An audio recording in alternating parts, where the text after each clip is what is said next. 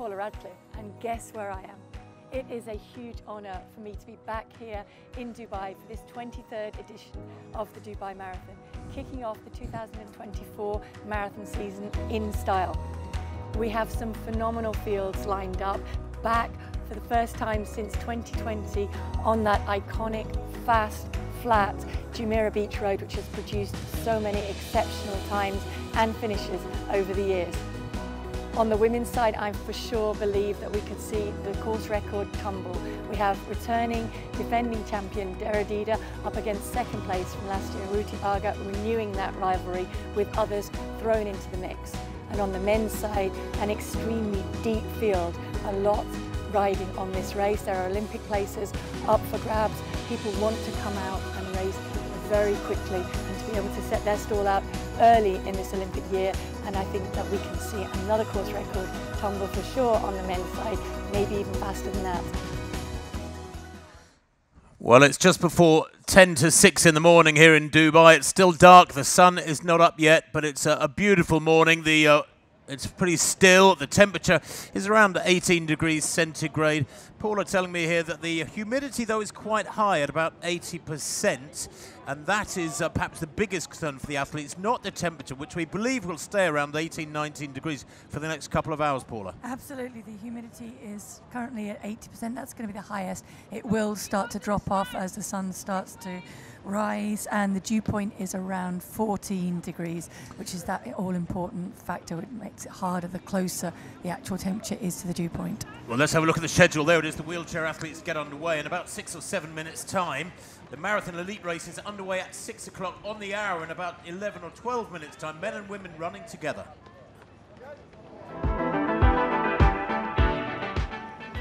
This is Jumeirah Beach that you can see behind me.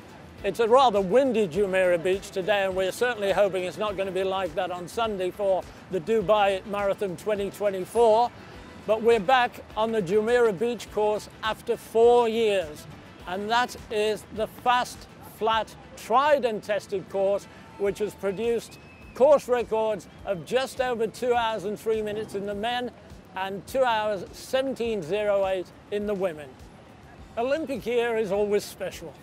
Now this year in particular, Paris 2024 in the French capital in midsummer is going to be extra special because it's 40 years since the women's marathon was added to the Olympic program back in Los Angeles 1984.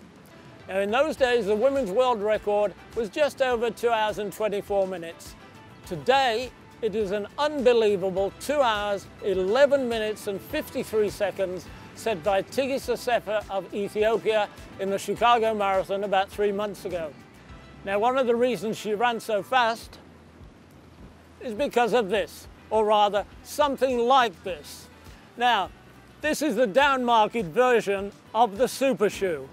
I can't quite afford the real one. Now, the, the top of the line has got a carbon fiber in this midsole. But this one has got a plasticated one, but it still gives extra propulsion, which is why we're hoping for a new course record in the 2024 Dubai Marathon. Well, the atmosphere at the start line is uh, building all the time. The elite athletes were on the same bus as us coming here about uh, an hour ago, so they've been milling around for that long and uh, will have warmed up. Although in these sort of temperatures, Paula, you don't need that much warm up. It's not the same warm up for a marathon in 18, 19 degrees as for a track race, say, where you've, you've really got to have a lot of speed through your legs. Absolutely, and you don't need to be ready to to run quickly from the beginning. You can kind of use those opening kilometres to warm up into the race, um, but they will have just been making sure that they are ready to go, that they're kind of mind is alert, I guess. Uh, a lot of the athletes still waking up, certainly getting onto the bus, um, still trying to get last minute fluids down them.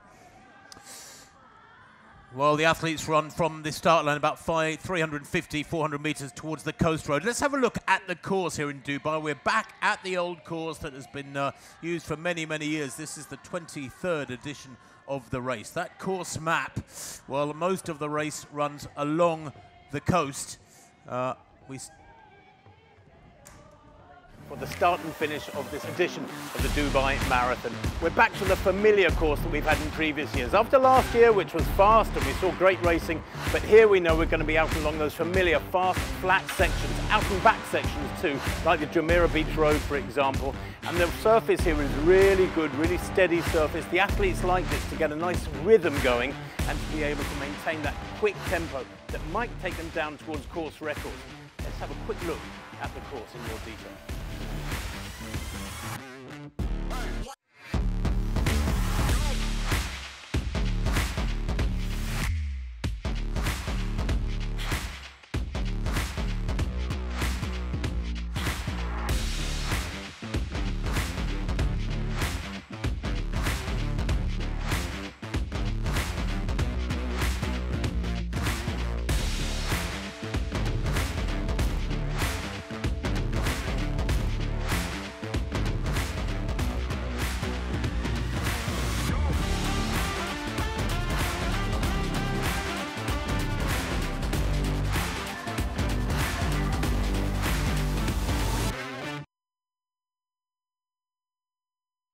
finish line. Absolutely dead flat, very, very high caliber surface. Apparently, Haile Gebrselassie, when he raced here a few times and won two or three times, said he'd never run on such a good quality road surface. Well, the wheelchair race, that's uh, due off in about two or three minutes' time at 5.55. And uh, Paula, I know you've been uh, looking, researching these athletes, but uh, it's a relatively thin elite field for the wheelchair race. Here. I think many of the top uh, wheelchair racers are focusing upon Tokyo and the World Marathon Majors, where the really huge prize money is available. Yeah, absolutely. There we see a start list, and Geert Schippers, um, he's a former actual para triathlete. Um, suffered a spinal cord injury in a flying accident in 2004 and since then worked his way up to silver in the 2016 Paralympic Games and then also notable Badir Al Husani from the United Arab, Emirates there. The rest of the, the male racers coming from China and indeed our only female wheelchair racer Tian Yahuan from China. She's 25 years old. Well, yes, that uh, gets the day's uh, program of events underway. That 5:55 marathon wheelchair start. Then the elite athletes at 6 a.m. That's in five minutes, about six minutes from now. At seven o'clock, an hour later, the masses in the marathon get underway. There's a couple of thousand in that. Then the 10k at 8:15. That's the big one. Around 7,000 running the 10k at 8:15 local time. Of course, we're four hours ahead here of the UK uh, and three hours ahead of Central European time. And then at 10 o'clock is the 4K fun run, and there's about 3,000 in that one as well. It is a day when we are expecting very, very fast racing. Conditions are good.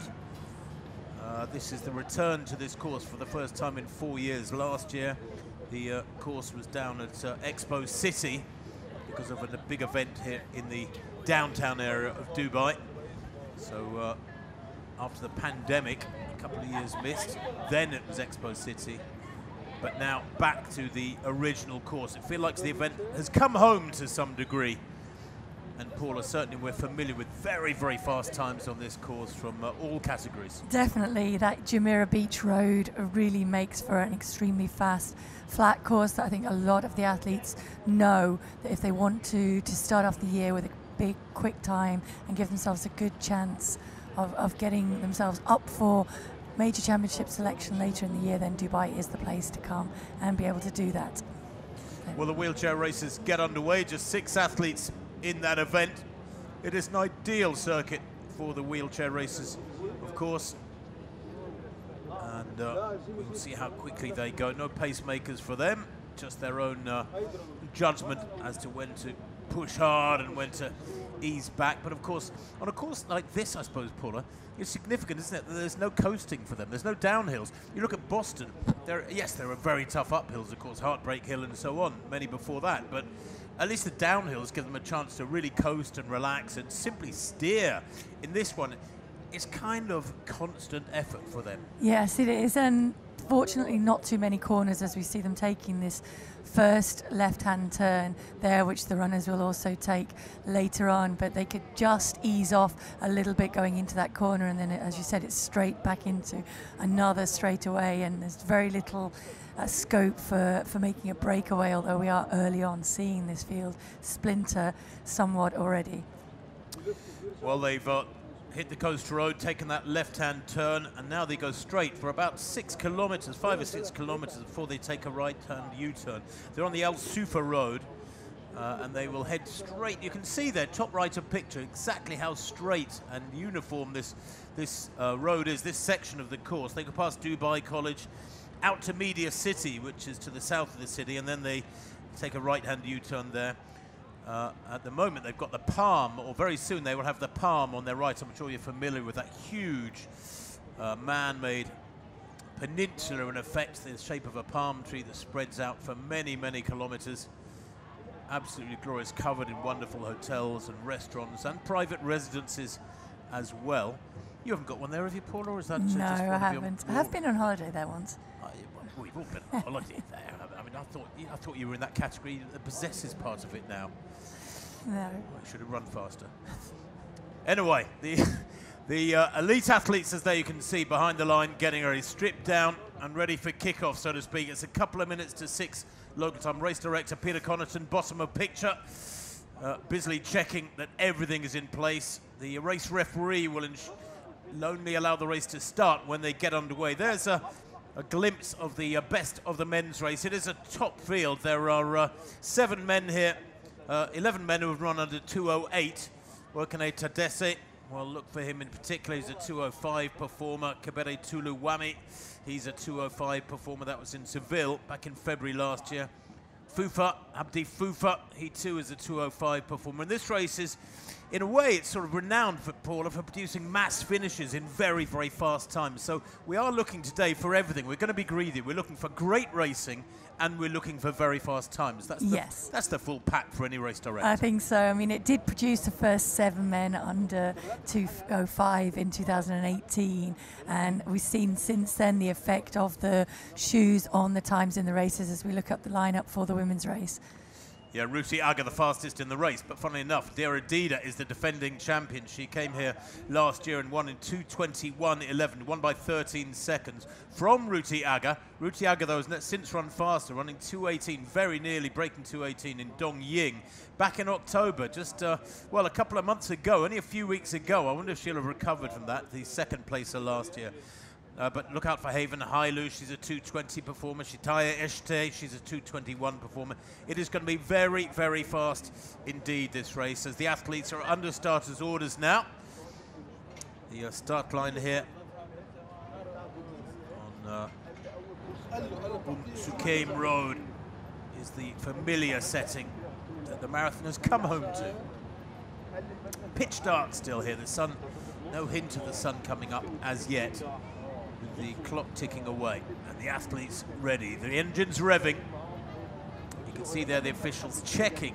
They have to know the course is clear. If not the entire circuit, then at least the first uh, 10 or 15 kilometers that these athletes will be covering the next 40, 45 minutes. And race referees are rightly very, very strict about these things. They will not let the race go until they get the thumbs up, the okay from various officials along the course that their sections are clear.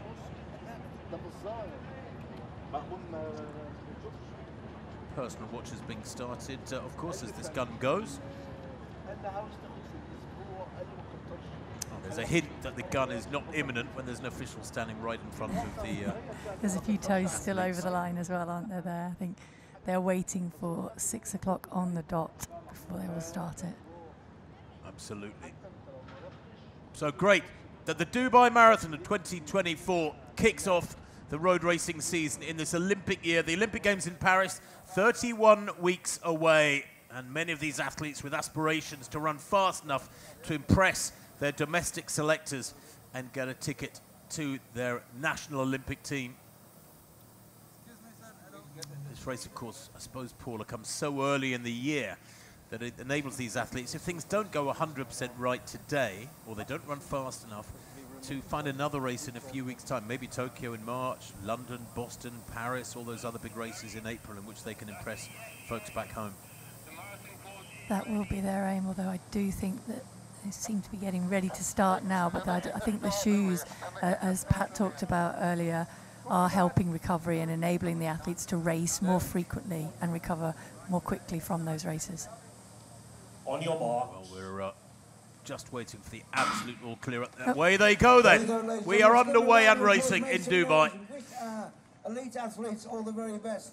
There are pacemakers, of course. There are uh, Fantastic course down here. in pacemaking groups, a couple for the men, a couple for the women. We'll give you more information of that.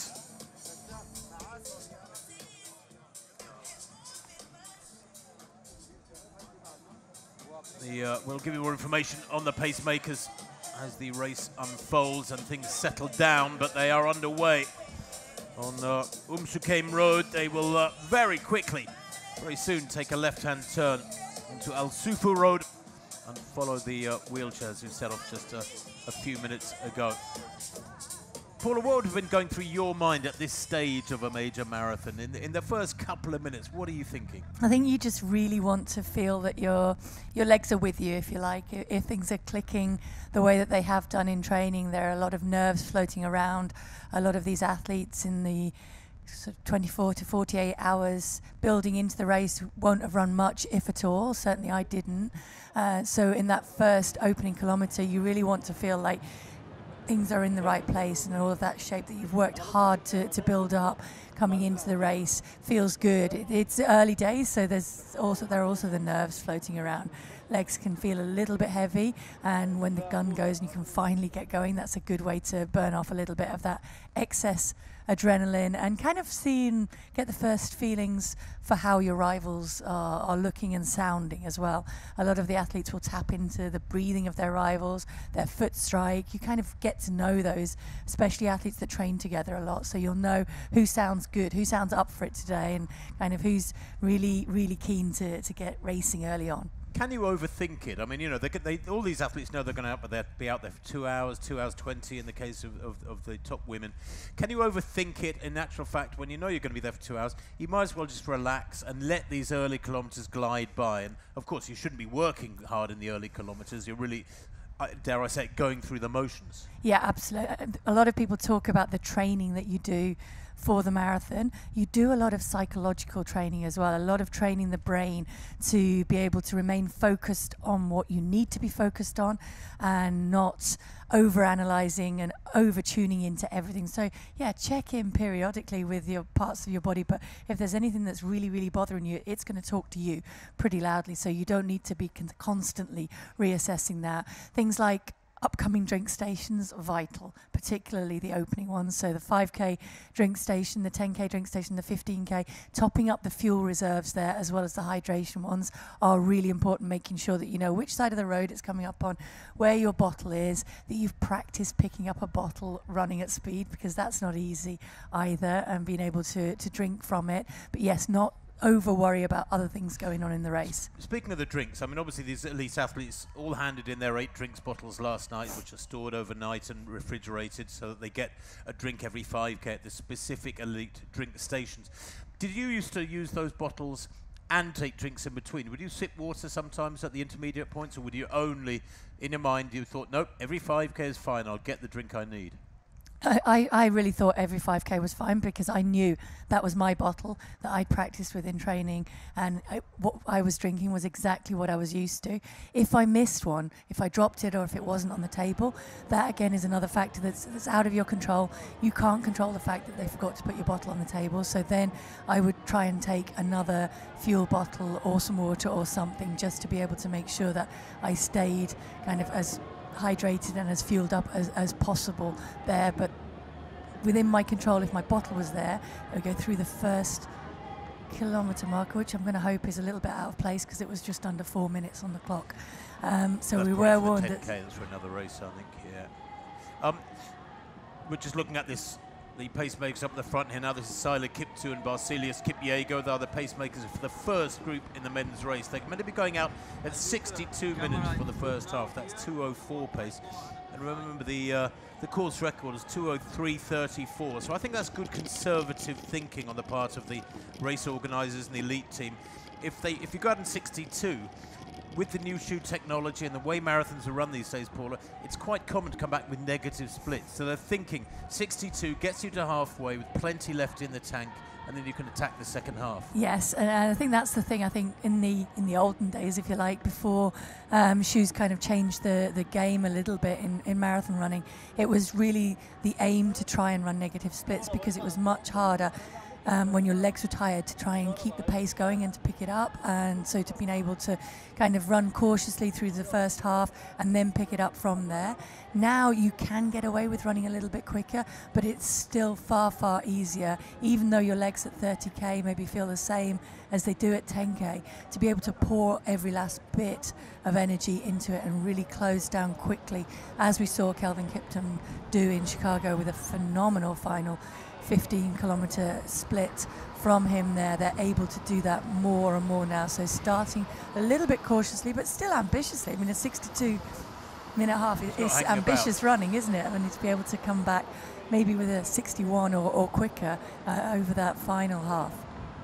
It's funny though, isn't it? Because when um, Eliud Kipchoge broke the world record back in September 2020, I'm going to me right September 22. Um, he went through the first half in under 60 minutes, and everybody was going, that's suicidal, that's crazy.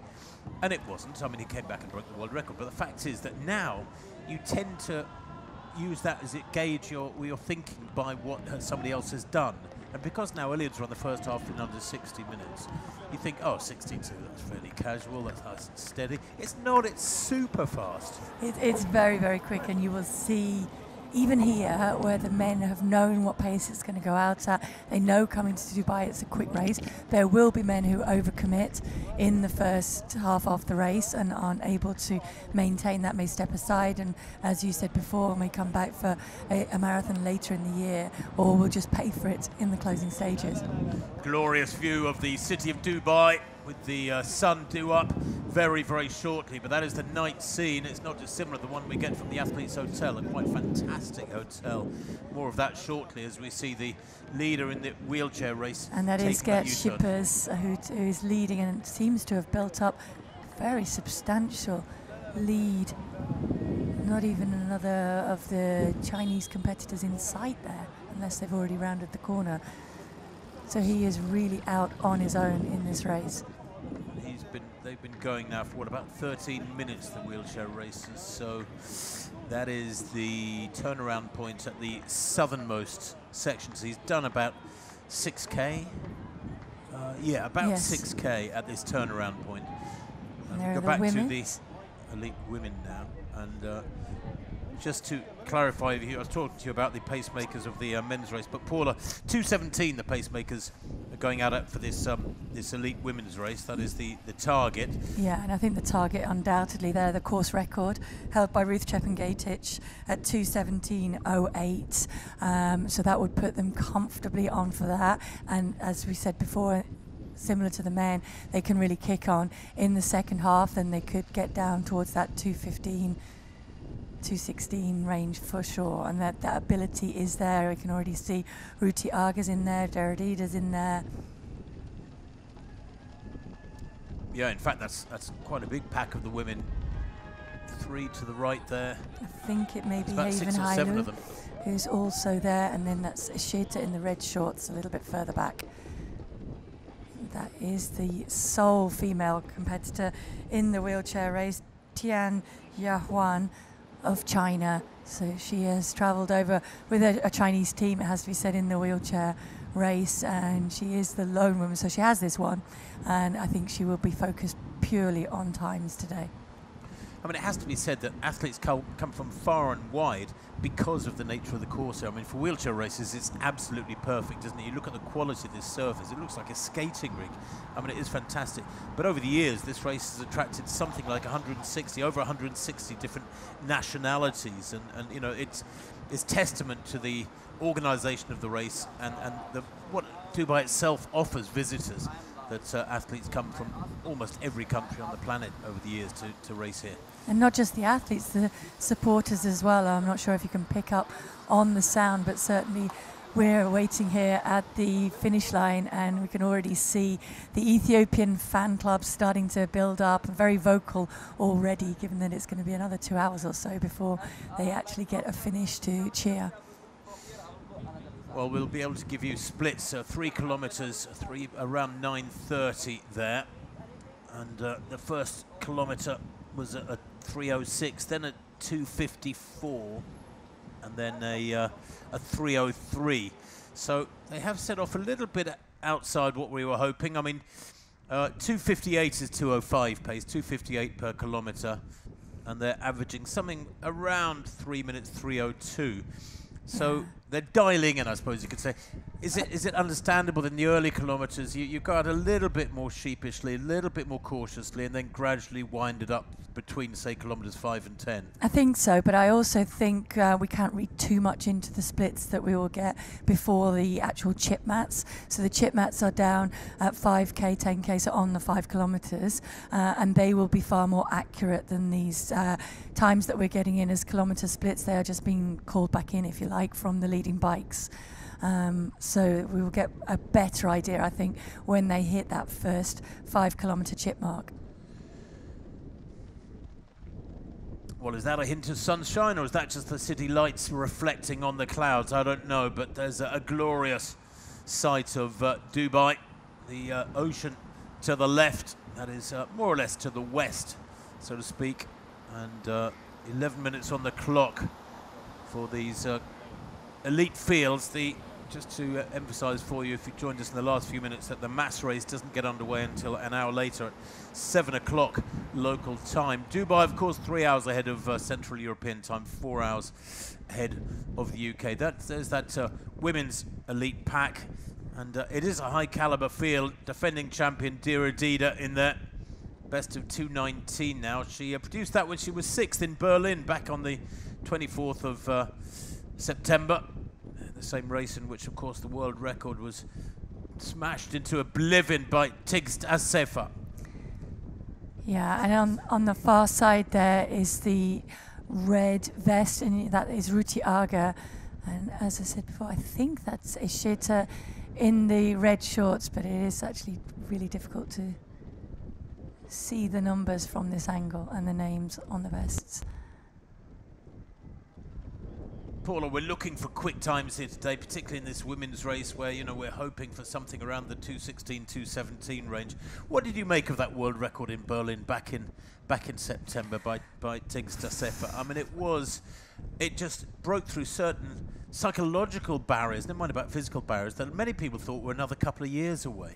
It did. It, it kind of really blew that apart. I think a lot of people looking at how quickly she was running in the opening stages were thinking, oh, th- there's no way that she can maintain this pace um, and was absolutely able to do that uh, and just run phenomenally quickly and kind of really just, I think, reset everybody's minds uh, about how fast women can go over the marathon distance. Just incidentally, on the women's side for the opening splits that we have been given, again with that element of caution in there, we had a 314, 317, and then a 311, another 314. So they are consistently around about that 217 pace that was asked for.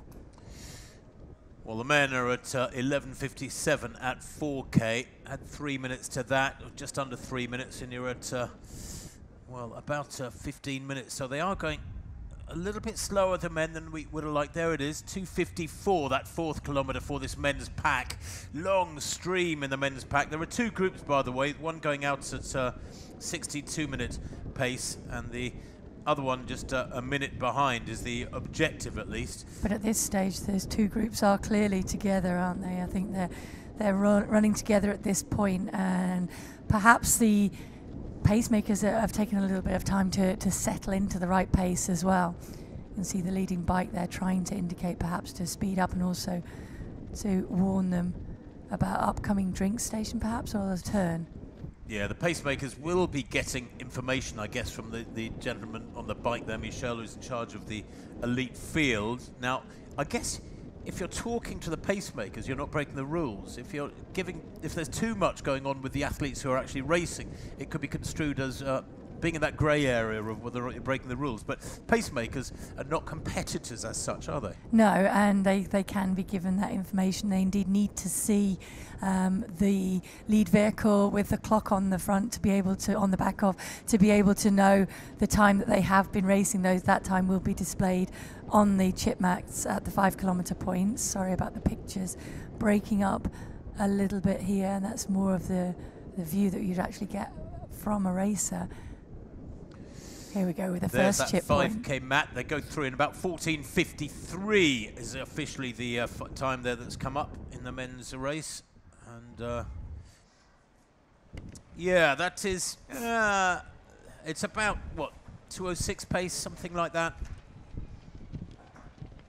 Very, uh, probably a bit under 206 tempo, so that's okay. They're doing fine. We mustn't get uh, too, too critical or too sensitive about uh, splits in these early stages. If we get to 30k and the wrong way outside, the times we're hoping for, then, then well, we're not going to criticise them. We'll just uh, make make comment about it. But this is first and foremost a race rather than a, a clock chasing exercise. We have to remember that. I think so often we tend to forget as commentators and as media, and perhaps many many of you fans as well. We get, we get caught up in the so the, the, the urge to see really fast running, and actually, I don't care so much about the times. I care more about wonderful contests. Yeah, we want to see an exciting race, don't we? And we're starting to see the field break up a little bit there and splinter into different groups.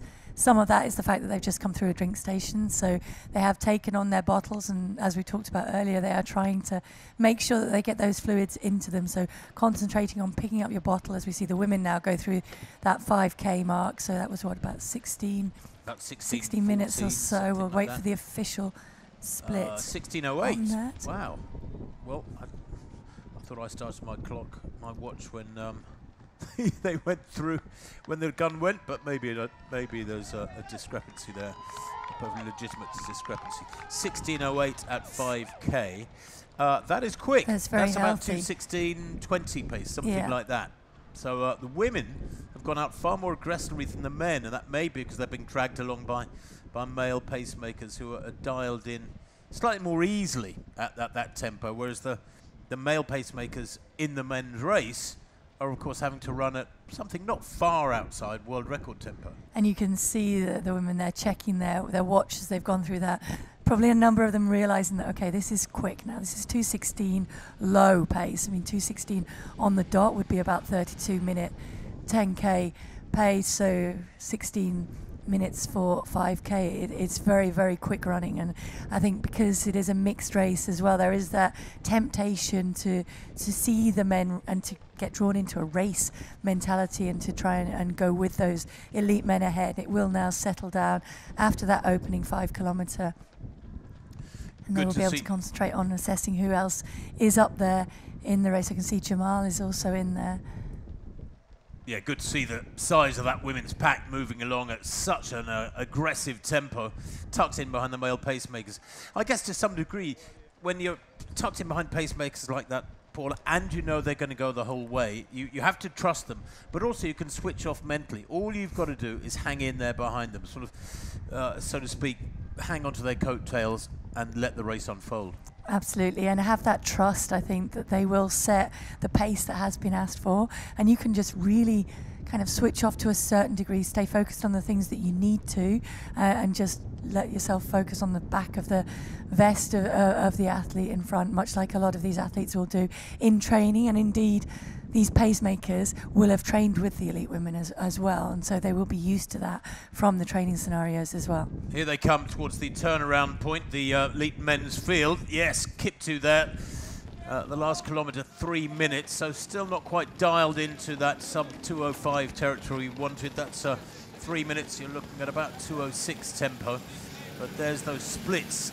The uh, opening kilometre, fun enough, the slowest of the race, and then well, as you can see, 254s, 254s, 256. I, I think you know they're, averaging what about 258, 257, something like that. So they're they're getting there. They're dialing into the right tempo. That's the uh, southernmost point of the course that they're uh, they've reached uh, down on the uh, Al Sufouh Road. And uh, now, as they're running along the men, they will have the uh, the palm on their left, the ocean to their left, the women here coming towards us, and that turnaround point. They've got the palm to their right, the ocean on their right. And then as they swing a right-hand U-turn, obviously they'll be heading north once again. But those uh, women's splits, well, 317 their second kilometre. Their first couple of kilometres are actually their slowest, although they've just covered the sixth kilometre another 317. And sometimes, Paula, you know, you, you have to look at these kilometre splits, and I think you mentioned it earlier, that you don't take them with a pinch of salt because they're almost exactly right, but sometimes they're a few metres out. Yeah, and they are reliant on somebody calling it back in, and that is the, the Meeka timing vehicle in front that we can see. And um, so the athletes can look at that clock and look at their own watches as well. There is the predicted finish time. It's moving out a little bit. A rough rule of thumb, so on the 20s for the women's racing. So 320 pace would be 220. Well, if we were to get a, a 216 clocking here, there's only, uh, what, three races last year, Berlin, Chicago and Valencia that had times down in that sort of territory. Actually, Tokyo as well, to be fair, Rosemary Wanjiru winning there in 216.28. But you are talking about the uh, seventh fastest race in history here was checking last night for, on the men's side. Only six other venues have got faster winning times than the course record here in Dubai. So it is uh, very much up there amongst the super elite of global marathons, of which, of course, there are now many hundreds, if not thousands. And the women coming towards the turnaround point. There's their kilometre splits, as you can see. Yeah. Probably a little bit more consistent than the men's. Yeah, I think they definitely are. And apologies for earlier. Shetta is, of course, in the all black there, leading that women's group at the moment. Hey, I'm liking that camera vehicle. Wow. I think that's actually the Chase women's group, is it? This is the chasing pack. Because that has to be the leading women's pack, doesn't it? is this? Uh, there is Miriam Dattke, of Germany, and that's Simon Stützel who's come out to pace her. So aiming for, I think around that. I think they'd ask for a 221 pace well, she's a 226 performer at her best. That was in Seville in uh, early 2022, almost two years ago, and it's only her fourth marathon, so she's still learning. That may be the third pace did group. You, did you feel when you were running, you know, you ran your first marathon, it was great. I think was it a 217? 218. 218. Oh, you you're slacking. The world um, record was only did, 218. were you still learning through third, fourth, fifth marathons? Did you feel you were accumulating information, or did you think you'd got it nailed by your third one, say? I don't think you ever have the marathon nailed. I think there is that healthy respect that you have to have. You can't be afraid of the marathon, but you have to have a respect for the distance, and you are constantly learning, much like in life or in any type of, type of racing. I mean, even at the very, very best, I would say that Eliud Kipchoge would still say that he's learning uh, in races. You learn a little bit more about yourself, you learn a little bit more about your pacing strategies uh, and what you should do. Uh, and then you learn a bit more about your rivals as well and the different courses and how you're more suited to certain courses than others. Well, Kejeta there at the back of this uh, single file line. Melat Kejeta of Germany, former Ethiopian. She's 31 years old now. 223 performer, ran that in Berlin four years ago. She's in her fifth marathon, Kejeta. Set uh, that personal best actually in her debut marathon. But she is a great performer. She was sixth in the uh, Olympic Games back in 2021. That was only her, her second marathon. And then last year, third in Ottawa in 227, and then she was 11th in Budapest in that sweltering heat. And she did, of course, summer. burst onto the scene with um, that performance in the World Half Marathon Championships, where she ran 65, 65 low, I want to say maybe 65 12 over the half marathon distance and, and picked up the silver medal that day. Yeah, there's that uh, pack tucked together, and you can see how consistent the times are coming up 314, 312, 317, 315. And that's good pacemaking, something the uh, ladies can trust and women can trust.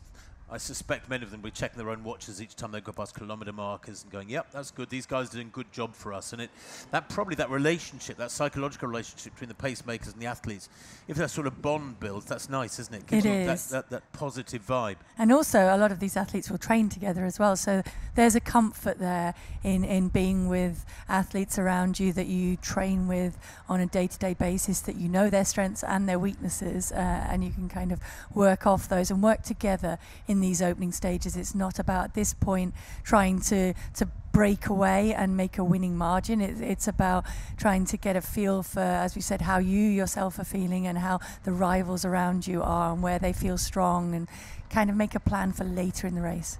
Well, that eighth kilometre in the men's race at 2.53, we're only seeing seven kilometres on the top left of screen, but the eighth kilometre, I can tell you, was at 2.53. So they have started winding it up nicely as they uh, are running north now, and uh, that is getting down towards what 2.53. You're, you're talking about uh, 201, 202 ter- t- tempo.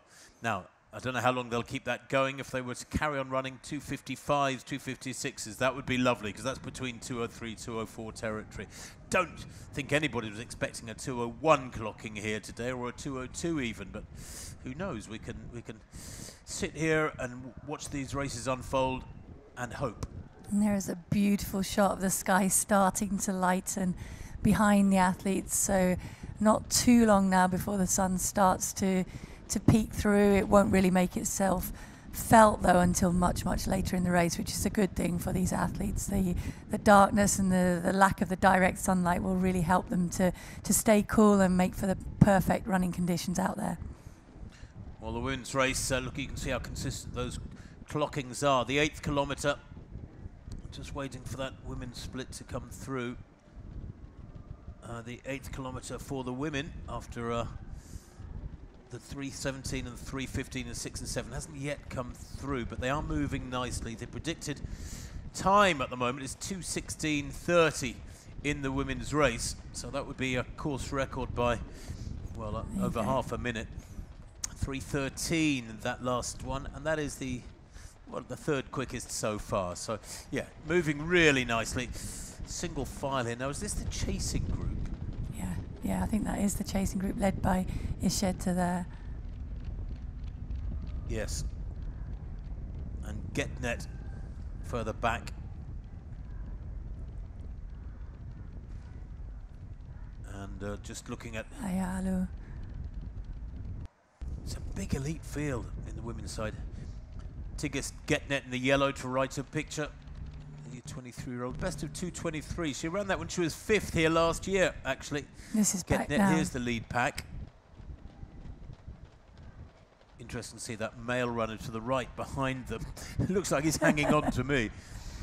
I think so. Do you sometimes get that with the um, elite women? There's be some men around there, maybe not having a good day in the elite field, or have moved forward from the, the mass race and find that it's more comfortable to run with a group than to run on their own, isolated. Well, the ninth kilometre, a 255, so another quick one from the men. Their last two kilometres, 253 and 255. Early on, we had a couple of 254s. Just uh, twice they've hit three minutes or outside three minutes.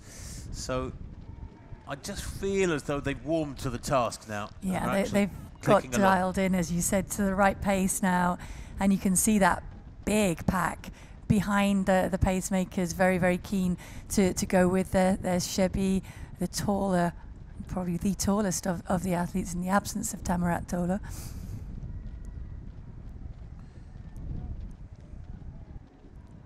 They're just quite happy to sit behind the pacemaker. Nobody really yet going alongside them to urge them on. I think that message has gone through now that we would like the pace a little bit quicker. It's lifted and, and, and settled in around about the right pace, and now they're happy to sit in that pack, and we'll only really see that splinter or break up perhaps now as they're approaching the next drink station when they will make sure that they are in the right place to, to find their table, grab their bottle. So those bottles will have been handed in the night before. They'll make it up as they're used to and as they want to. Can attach anything to those bottles so they can pick up anything from the table so long as it's attached to the bottle and picked up within the zone at the drinks table. So the predicted time just inside 205 you can see at the bottom, bottom of the screen, but we are expecting there's a pretty good chance of negative splits here this morning in Dubai. If you've joined us in the last few minutes, uh, welcome to our live coverage of the 23rd edition of the Dubai International Marathon. The elite fields got underway, well, just uh, 30 minutes ago, 29 minutes ago now. They actually started a minute or two after the planned 6 a.m. start time. And uh, of course, we're uh, in the early stages of both men's and women's elite races, which set off simultaneously. This is the big men's lead pack moving along at inside 205 tempo. And that, uh, to me, Paula, suggests that quite a few athletes there will be comfortable. There might be one or two who are stretching it and feeling the pet pressure, but they, they, they must be, the majority of them I'd have thought are feeling pretty comfortable at the moment. Can you remember running any of your marathons where, by say 10k, you thought this is going to be a bad day at the office? There we can see 10k, 29.33 at 10k, 29.33. So uh, that is great. That means uh, they are moving, yeah, uh, uh, what about yeah, 205 tempo as we know. Yeah, I mean, it's down to 1440 for that second five kilometre split. So that is much more respectable running. You can see Kip Kiptoo just taking a look, taking a little bit of direction from the uh, racers alongside him just to check in. Is this okay? Are we now more on the tempo that you would like? Back to this uh, elite women's pack good indication there, Paula, when they're spread across the road like that, that the wind is not really an issue. The chasing pack, yeah. funnily enough, have been running in single file, but this group uh, look quite comfortable to be three or four abreast. Yeah, I think they're, as we said, they're also used to, to training, although when they are training up in the highlands uh, above Addis Ababa out in Ethiopia, there's a lot of single file running, and that is why you tend to see the Ethiopian mindset of racing is kind of one behind each other, focused on the, the feet in front of them primarily to look out for roots and things and make sure that they don't trip in training. And now we see Ruti Aga. I think this is because perhaps they're starting to approach the drink station, but certainly she made a little bit of a surge ahead there, really keen to pick up the pace. There we go, yeah. Go across and grab some water.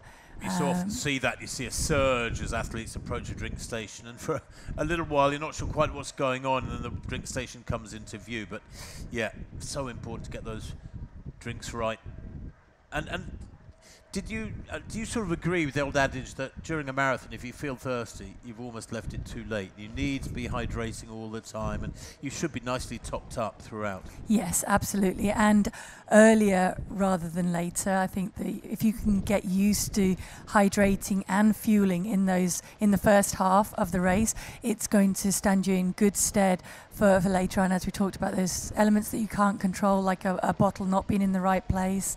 Um, you need to make sure that you're kind of covered for that and insured against it, if you like, by making sure that you've got enough of those glycogen reserves topped off beforehand, in the days beforehand, extremely important, and in the opening stages of the race, and just keep that hydration. Those warning signals, I mean, even as a general person walking about, if you feel thirsty, you tend to already be getting into dehydration territory, and you don't want to be doing that in a race because to be able to play catch up is very, very hard to do, particularly if conditions are humid, which they were at the start of this race. And there we go, 32.18 through that 10 kilometres, so perfect timing. 32.18 at 10k for the women then, and a nice big pack moving along together. Oh, somebody just struggling to get their drink there. I think it was one of the pacemakers, actually. Pacemakers in this group, uh, of course, male pacemakers, taking along in theory at 68.30 pace for the first half. Uh, Arega Bultume, Situm Diriba, and Ketame Bahailu. And it's good because the vast majority of the elite fields are uh, Ethiopian, and in this women's race, for example, the pacemakers can uh, chat to the, the females around them, the women around them, and actually, you know, be reassuring them, answer questions, and so on. So there's again, there's that nice uh, connect between the, the racing athletes and the pacemakers, which can become so important when you're under pressure. And incidentally, what they're not allowed to do is pick up the drinks for the elite women and hand them to them. But if one of them has missed a drink, I think the women are allowed then to, to share the drinks amongst each other. You're not allowed to go purposely get a drink for somebody else, but you are allowed to pass the bottles amongst each other. So if one of the pacemakers has missed a drink, I don't think it's extremely a, huge problem. I think one of the women will be able to pass what's left of theirs once they've finished with it. Well, there you can see the splits in the men's race, the first two 5K segments. I think Paula mentioned that 14.53 and then 14.40. That's quite a big acceleration in the second uh, 5K segment. Of course, they're uh, well past 11K now as they plough along. Uh, 15k will be the next significant split we can give you. The mass race, well, that's due underway in 25 minutes. So the uh, 2,000 plus athletes in the mass race are warming up with um, their start at 7 o'clock local time. Right now it's 6.35 here in Dubai.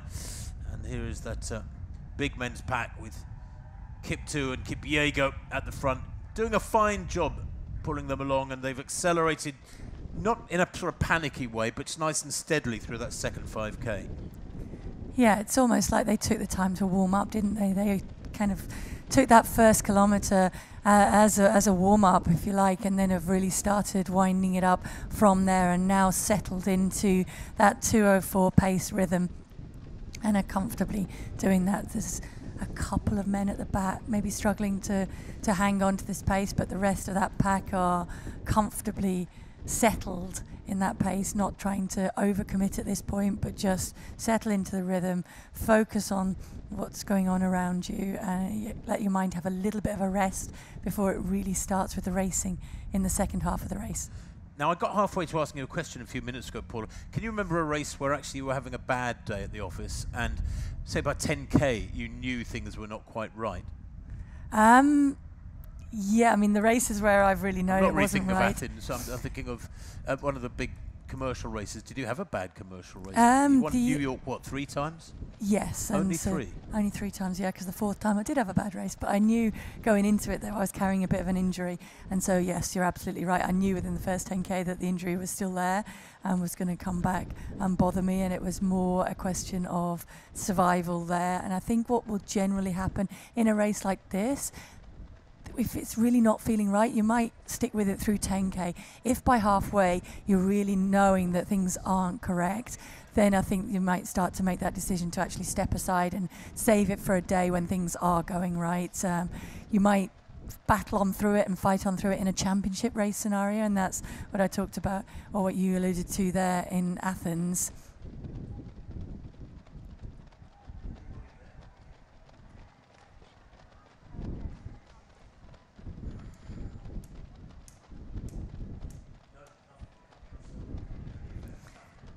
So there we go with a 12k split matching that of the 11k split. So very, very consistent. And that is the Burj Al Arab in the distance in front of them that they will aim for and then go out past that and then they'll have that to aim for on each of the other laps as they come back around. Well, the, there's the Burj Al Arab, so they have done the southern section of the course, the, the, the down and up, so to speak, and then they have a sort of dog leg, uh, slight left-hand dog leg, and when they get to the, uh, adjacent to the uh, start road, uh, the Suqeim road, and then they carry on heading north, and uh, it, that is the loop that they will negotiate twice through the uh, second and third third sections of the uh, course, if you know what I mean. They're now at what 12 and a half kilometres. This big men's pack moving really well. Pacemakers checking their watches. They're staying on top of their duties, and yeah, it's all building nicely. Things are working out very well, particularly in that women's race. Yes, I, I think both races now getting down into into good racing times to, to kick off this year. It would be great, wouldn't it, to see a sub two four clocking opening up the marathon season in this year and certainly on for a very fast women's time at this point.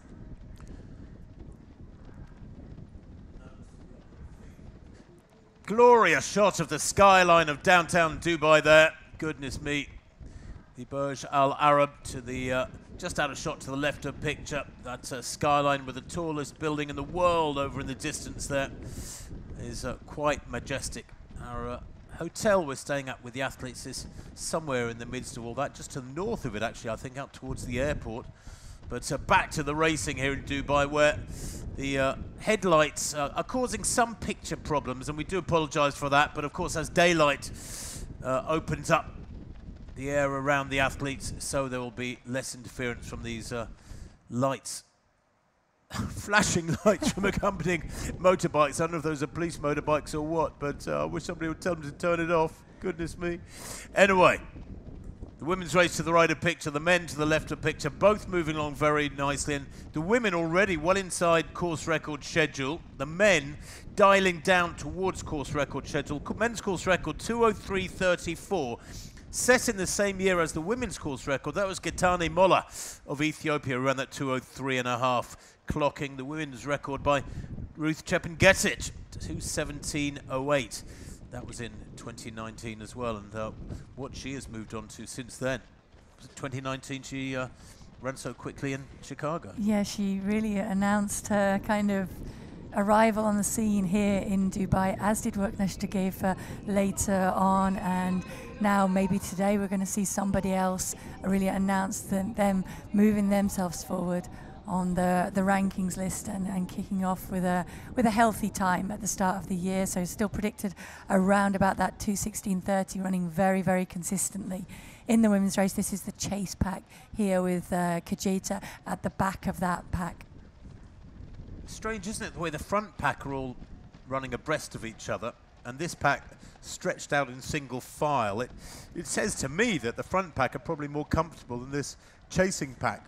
And I suppose by definition, if you've seen athletes run away from you up the road ahead, then you uh, you had to avoid red lining, so you're uh, very close to your limit, and that's why perhaps these athletes are in single file. But uh, well, the men moving really nicely. The women likewise. And uh, just checking the splits that are coming through for the women's field. 311, 317, 315, their last three kilometres. And still being predicted 216.30. So a uh, course record by some 30 or 40 seconds is uh, on schedule at the moment. 40 minutes on the clock, Paula. We're what, at less than a third distance at the moment, so we mustn't get too carried away with what's building here. There's a just a hint of the Burj Al Arab in the background there. With that uh, helipad on which one two famous games of tennis have been played, a few golf shots played off it. Have you been up there? Uh, I was up there actually in 2003. I kind of had a sneaking feeling you would have been, trust you. 2003. Why 2003? Yeah. Um, I was just out here on holiday for my 30th. And we stayed in the Jumeirah Beach, which they're just about to, to run past in a moment, and gives its name to this very flat, fast racing road that they're going to race along and indeed do two laps of uh, that side of the course before turning back into the finish on Umm Suqeim. Here's the lead pack in that women's field. And how many women here? Five women in this lead pack with the three male pacemakers. That's rather luxurious treatment, but they are moving well. I'm just trying to identify this athlete in red. That's Ruti Aga. Ruti Aga, yeah. The fastest in the field, Aga. Looks very comfortable, doesn't she? Made her debut in Vienna back in 2016 where she ran 225. She's run many great marathons since then, including uh, her personal best last October in Dongying in China. She's broken 220 a couple of times. She was 13th here back in 2017. She had a bad day at the office then. 246 she ran in 2017. But this is Ruti Agatha in red, her 14th marathon.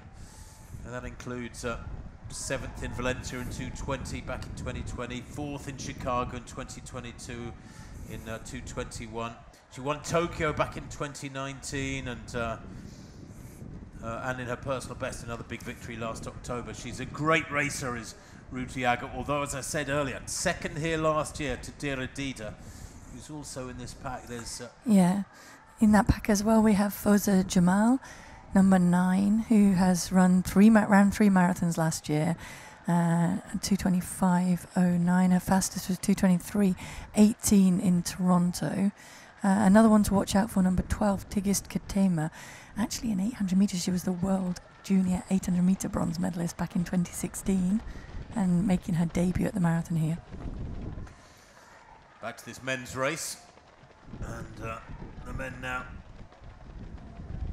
just approaching 15 kilometres. Their 14th kilometre, by the way, 252. That is the quickest of the race so far. In fact, their last two kilometres, 253 and 252. They really are beginning to ramp it up now, approaching the middle section of this uh, 23rd edition of the Dubai Marathon, the 15k split. Well, we shall see, but uh, it's it's all looking rather good at the moment because I think that cautious approach of the early kilometres was good, wasn't it? It means they, they get to 10k feeling nice and relaxed. Now they're beginning to wind it up, but in a sensible way. So 14k was reached in 41.12, and 41.12, I can tell you, would give them a, a finishing time of 204 dead. So uh, yes, it's uh, they've accelerated by a minute. So there is 15k. Yeah, 44.05. So very, very healthy running now. And I think the significant point being that they are getting quicker with each of these 5K segments. And that I can't see that changing now. They're definitely committed to that race plan. The groups will get smaller. People may get taken out, as we nearly saw then. Uh, athletes darting through to try and grab their drinks bottles and not warning the athletes behind them quickly enough or just them not being aware of what's happening around them. But that group will thin out and athletes won't be able to stay with the pace. But I think we will see a consistent ramping up of this as they move on through the five kilometre segments. So they're split through the 5Ks so far in this men's race. 14.53 and then a 14.40 second 5k to get them to 10k in 29.33 and then a 14.32 so 14.53 14.40 14.32 nice steady acceleration there in the second and third 5k segments. 15k and 44.05 here in uh, Dubai. Uh, the sun coming up pretty rapidly. The temperature we understand is not necessarily due to climb so much in the next couple of hours it's the humidity that is the, the greater concern. We're in a, well, an air conditioned studio box here by the finish line, and it's actually really cold in here. The air conditioning is. We've asked a couple of times for it to be turned down. We are suffering from too much cold here. The athletes out there, maybe one eye on the fact that the uh, humidity will climb a little bit, if not the temperature. No, the humidity will, will drop as the, as the sun, the humidity will drop as the sun comes up. So they're through the worst of the humidity, if you like. Now, I mean, it's still going to be in the 70s, um, but it will drop off a little bit through there. The problem will be as the sun starts to rise and they're in the direct sunlight, then it will start to, to feel a lot warmer than, than the actual temperature. But at the moment, they're a fair way from that. That sun is just starting to really peak over the horizon. It, it's not certainly a long way from being at its maximum strength for the day. There you can see the 5k splits top left of your screen as the, uh, is this the chasing men's pack? Moving along the second pack, and they're what, uh, they've gone through there, the, uh, in about 46.25. So yeah, they're, uh, goodness me, they're about two and a half minutes down. That's a, a big gap between this chasing pack. There shouldn't be that big a gap at this stage. No, I think the second pace group had asked for a 206 pace. Yeah. Maybe looking at the third group. Predicted at 204. There are the splits, as you can see. Compared with those early kilometres, looking a couple of three-minute clockings at 303, at 256, 257. Look at those last few kilometres, 253, 252, 253. And there is a shot of the Ethiopian fan group warming up and looking at the big screen across the road as they wait patiently at the finish and, uh, and are giving us some great entertainment and background. Lovely shot there of the Burj Al Arab as well as the uh, Jumeirah Beach Hotel. And the athletes at the moment are beyond those big buildings, centre of picture, heading north alongside the coast, with the coast on their left and heading to the uh, turnaround point another few kilometres away. When they take that turnaround, they come back down towards the Burj Al Arab, where will they do another U-turn and make a second circuit of that northern section. So it's a, a, southern section and out and back, and then two laps of the northern section. The leading women, they're 3.13. A metronomic pacemaker. really good job the pacemakers doing in this women's race. And there's just Jamal falling off the back of that front group, which will then make it, I think, just four women in that lead group. I think it's Ketema. Is it four now? It, yeah. it is. Afenigus is also in there. Betelium Afenigus, who is on her debut. She has run a 66 46 half.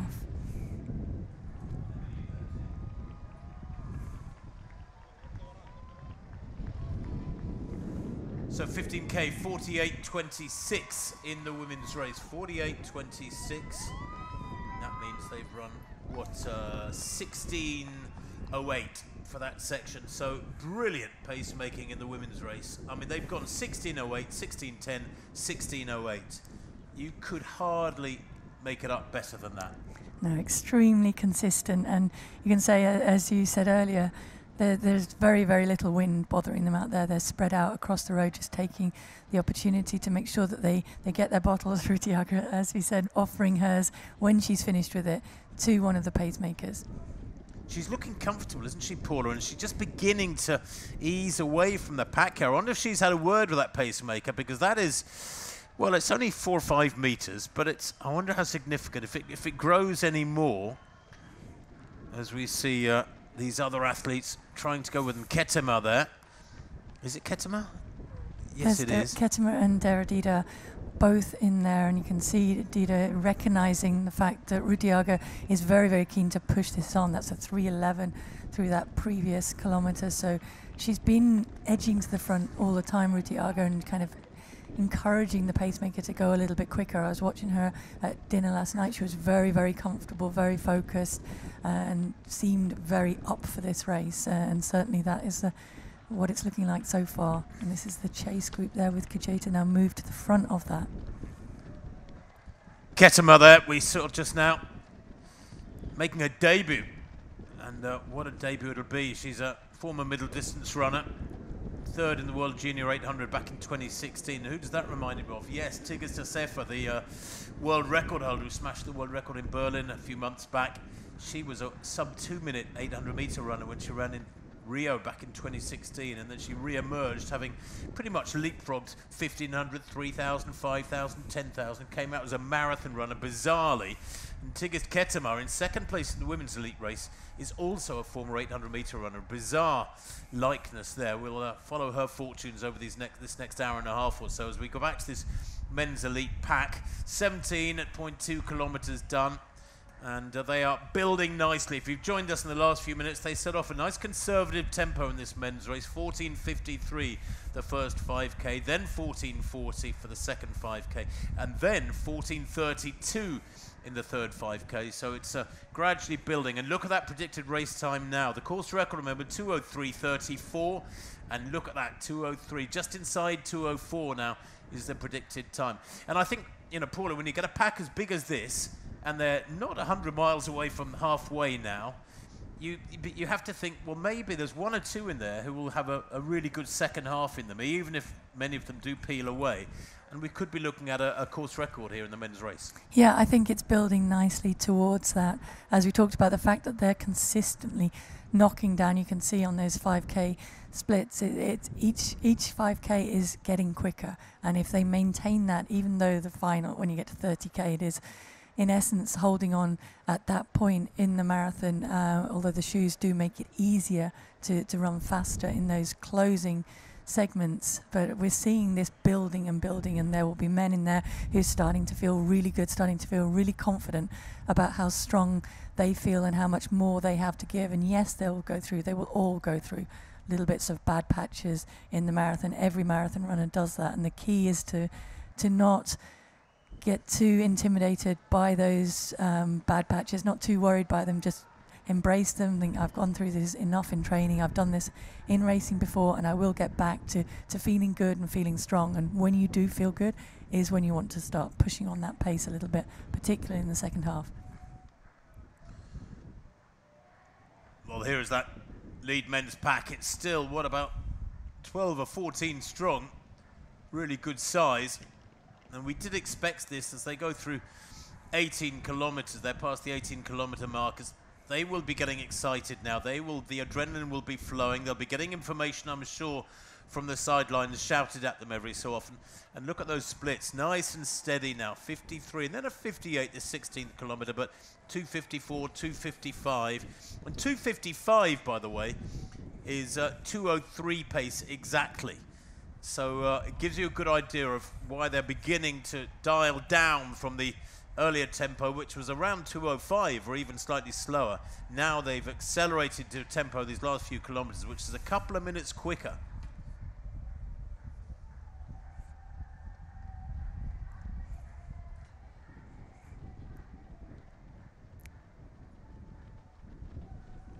So I'm just looking down the, the list on the official pacemakers that we were given. So Kipyego and Kiptoo should be with the, the lead group around about that 2-4 pace that was asked for. But I can also see Arasa in there who is down to, to pace the 2-6 group further back. Uh, he's actually in the race, settled in there, still in the black vest which maybe the pacemakers know. There are other races in there as, as well. So the Kipyego and Kiptoo at the front pacing, and then Arasa behind that appears to be a backup pacemaker in that group, just keeping the pace going.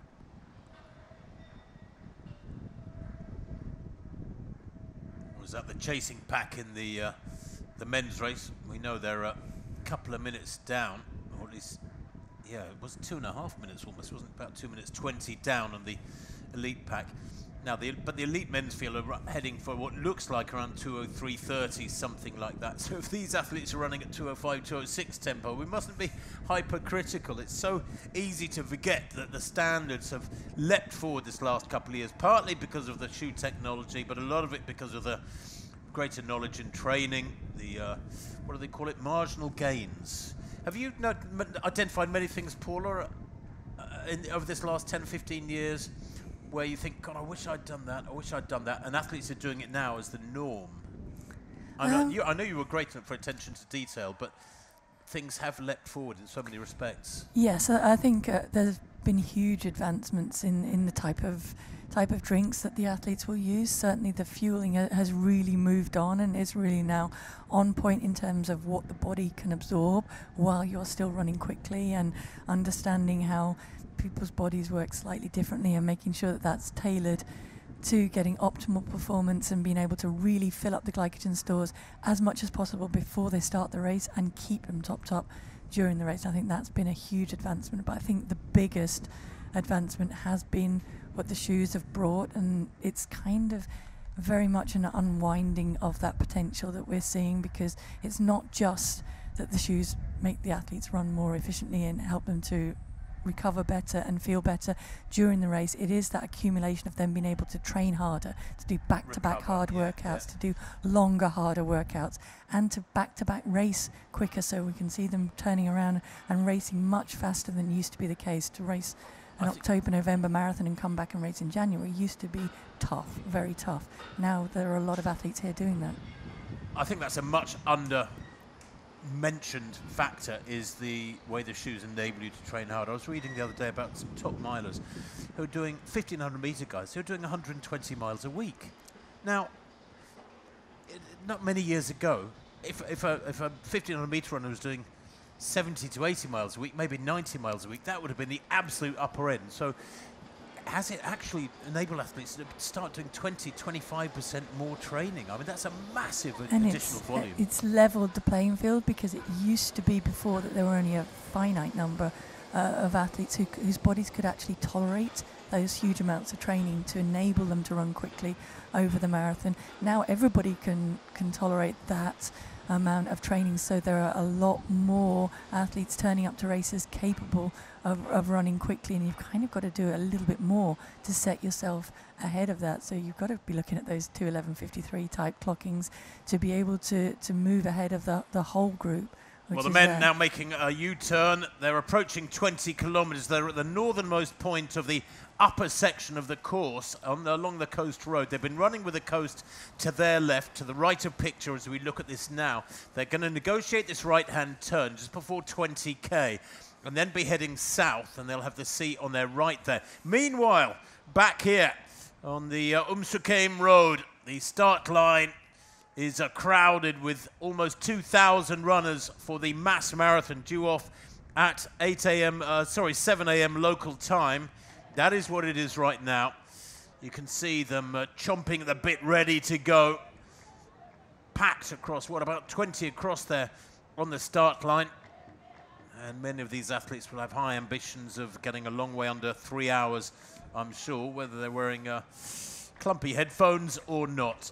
But uh, you get the odd athlete who likes their few seconds of glory, will charge off at the front end. But uh, generally speaking, athletes respect the the sort of ranking, they, their, their predicted time, and they, they, they position themselves somewhere in that lineup uh, that appropriates to is approximates to where they should be. Have they said Mm, go or not? I mean, there. goodness me. I think they've gone now, whatever. Somebody decided it was time to go. Well, that was uh, a little bit messy, but doesn't matter because I think athletes of this caliber are not counting the seconds in quite the same way elite athletes might be when there are time bonuses and records beckoning. Most of these athletes running for themselves with their own personal goals, many of them for charity, of course. That is a growing theme globally. Never mind about uh, just here in the United Arab Emirates or in many of the big European and US races. But uh, many of these athletes are just going to enjoy their day out on the roads of uh, Dubai. Paula, have you run a marathon for fun yet? Even your last marathon, was it a 237 in Berlin or somewhere? 236 in 236. London. was that your last one? Uh, yeah, I kind of I So ran you haven't Berlin yet done a marathon for fun? No, I would argue I've run a lot of marathons for fun. I had a lot of fun doing it. Well, I'd, uh, the sort of money you're earning, I'd have had a lot of fun too. But no, but have you not? Have you not sort of done a marathon like in three and a half hours and jogged around and waving at the crowd, soaking up the glory, raising lots of money for some monstrous charity that needs it? I, I did run. ra- I did run afford to all around. Berlin recently uh, with a pace group there, That's true. and that's um, true. I didn't actually cross the finish line. Well, that must have uh, been fun. that just before, but yeah, it was a lot, a lot but of wasn't fun. that but a I, new I honestly experience am running a marathon without the pressure of, you know, chasing a time? Yeah, I mean, in, that last one in, in London was also for, for fun there. Um, I wasn't really thinking about a time there. I was just enjoying being a part of the mass race. You see a different side of it. Most of the races that I raced were um, female, women only races. And so being in the middle of the huge mass race is a great experience uh, and something that I really, really enjoyed. Well, back at this elite men's race, they've gone through 20k in 58.43, and I'm just calculating that means that's 14.38. That uh, fifth, that sorry, that fourth five-kilometre segment. So they've gone 14.53, 14.40, 14.32, 14.38. That's still nice and crisp, aggressive. I say aggressive, steady but aggressive running. It is. For the first time, we see a slowing down of the fi- 5k segments, but I guess that was inevitable given the 1432 before that, and it's perhaps a little bit of a, a gathering as well as certainly a bit more stretching out of that group. The pack isn't all bunched together. There are men looking around and just trying to gauge who is still there within that pack, who are the pacemakers, and who are the, the men that I really need to concentrate on racing and tap into a little bit of, of how good they're looking, how good they're sounding, and how good am I looking and sounding, uh, and what am I going to be starting to do over this second half of the race because there is the 21 kilometre marker gone through in the background. Well, that took 58.43, by the way, equates to about 203.50 tempo. Leading men going through the halfway in 61.53. Now, that is brilliant. They were looking for 62. They've uh, dialed in to the uh, quicker tempo over the last 10k. And uh, 61.53, well, they were looking for 62, Paula. Brilliant stuff, just inside what was needed. That'll be a, a nice surge of reassurance or, or sort of reinforcement for this, this main pack. And as we said, setting it up for a quicker second half uh, as they come back uh, as well and really hotting up here in, in the men's race and hopefully getting within scope of being able to challenge that course record time. That does still stand at the 203.34 for Molla.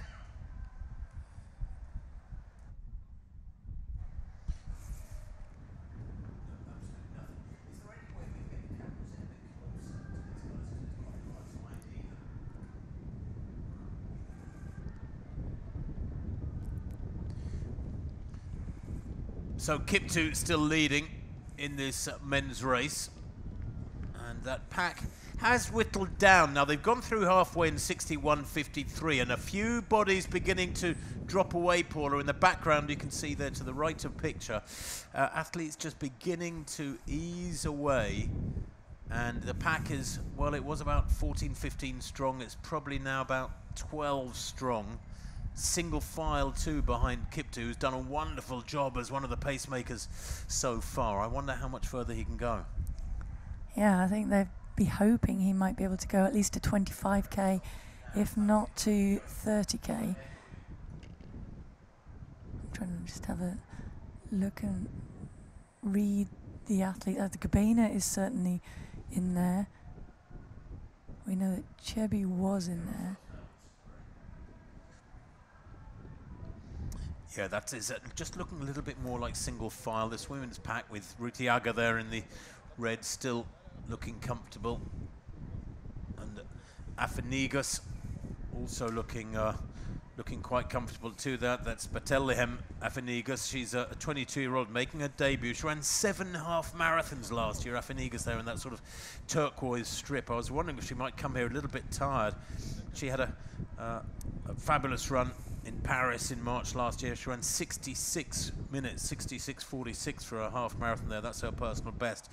And of the seven halves she ran last year, the first four were fantastic. They were a long way below 70 minutes. And then the last three were well over 70 minutes. So maybe she was tiring towards the, uh, uh, the latter part of the year. But 20K, 64.35 in the women's race. 64.35. We'll extrapolate for you what that means in terms of uh, the likely finishing time as quickly as we can.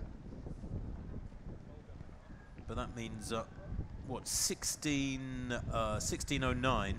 So again, brilliant pacemaking. The last three, well, in fact, all their five kilometre segments have been 1608, 1610, 1608, 1609. Absolutely spot on pacemaking in the women's race. It is very, very consistent. They are approaching that halfway mark spot on for that low 216 clocking at the moment, which is faster than, than asked for, but certainly being urged on by those top women as we see the second group now make that turn, including Ishita of Bahrain. Getnet is in there, Ayalu. Ruti Aga just taking the chance to look around, maybe just checking. Was she checking the Afenigas got her drinks bottle. The others don't seem to have it. Perhaps they missed that. No, no, Dera Dida has her bottle there. There was certainly some looking around for Ruti Rutiaga, and we should be able to bring you the halfway split. Coming up now. I wonder how um, Ketema there, nearest the camera, centre of picture. I wonder if she was was inspired. She's the ex 800 meter runner. And in fact, what's bizarre, Paula, is that it's not like she ran it years ago. At least Tigist Assefa the world record holder was back in 2016. She was running great 800s. Ketema uh, ran 406 last summer for 1500 meters. Sorry, in 2022. Um, earlier on this year, she was running indoors over 3,000 meters. Uh, and she's never raced further than 10k. No, but she uh, did run a very, very fast six mile uh, last year uh, middle of the year in July, 29.51 for six miles, uh, which is phenomenally quick running. And six miles, not 10k. Yeah. yeah. Where, where was that? In Capitola, in California. I don't know a six mile race. Who ever heard of a six mile race? I think the Americans do that, don't they? Don't like K's over there. I've never heard of six miles. That's all weird. That's got to be unique done a few five miles. You do a lot of six miles in training. No, oh, sure. Yeah. But and five miles and ten miles and the, all those uh, th those are relatively common. But six miles, six mile road race. Anyway, we're being um, statos here. Is this the chasing group in the women's race? And again, the pacemakers doing a good job, checking their watches all the time. The leading women, look at those splits, 20k, 313. And that's a 20k split, by the way, in the women's race, uh, which got them to that point in 64.35, equates to 216 and a half. So again, still about 40 seconds inside course record schedule. We now are approaching that 21 kilometre mark for the lead women here they've not already gone over it. I'm not sure if that's the 21k or the halfway split. There, that is the halfway split, the 68.07. So yeah, right on low 216 pace, 216.14. 68.07.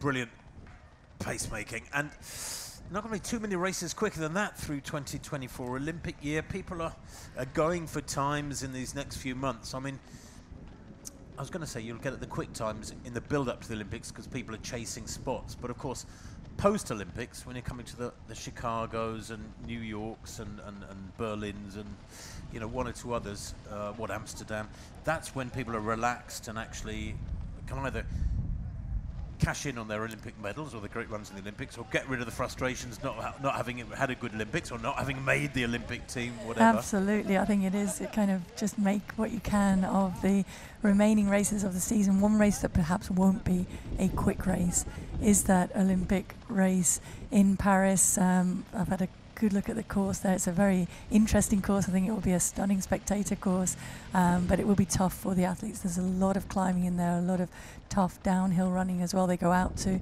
the Palais de Versailles and then come back, uh, and it tells the story of the, of the landmarks and the history of France and of Paris uh, in a great way. Um, but I think the athletes do need to be very well equipped to handle the ups and downs. So perhaps we'll see some athletes this year choosing to, to go and race on the slightly hillier courses somewhere like Boston in terms of preparation and build up to make sure that they are set up well to handle the inclines and the declines in that Paris course. None of those here today, of course. 70 minutes on the clock then. And the predicted race time is still well inside 204. As you can see, the splits, well, they 256, 258, and then a 251. Maybe they got a shout that they were slowing a little bit because a 251 is a, a lot quicker than 258. I know to many of you listening, the uninitiated, may think, well, what's that? Four or five seconds, that's nothing. But over some three minutes of running, less than three minutes of running, actually it's quite a big acceleration, isn't it? To, Yeah. to, to accelerate six or seven seconds. And you can see that by the way that they are now single file behind. So I think Kiptoo, I can see Arasa is still in there further back, but he's not at the front doing a job of a pacemaker. Kiptoo now does seem to be the lone pacemaker left in the race, slotted him right behind him as he has been for a lot of the race, urging them on is Kubina. Behind him, Magessa. There is Arasa on the far side who was down as a pacemaker. Ruto is in there.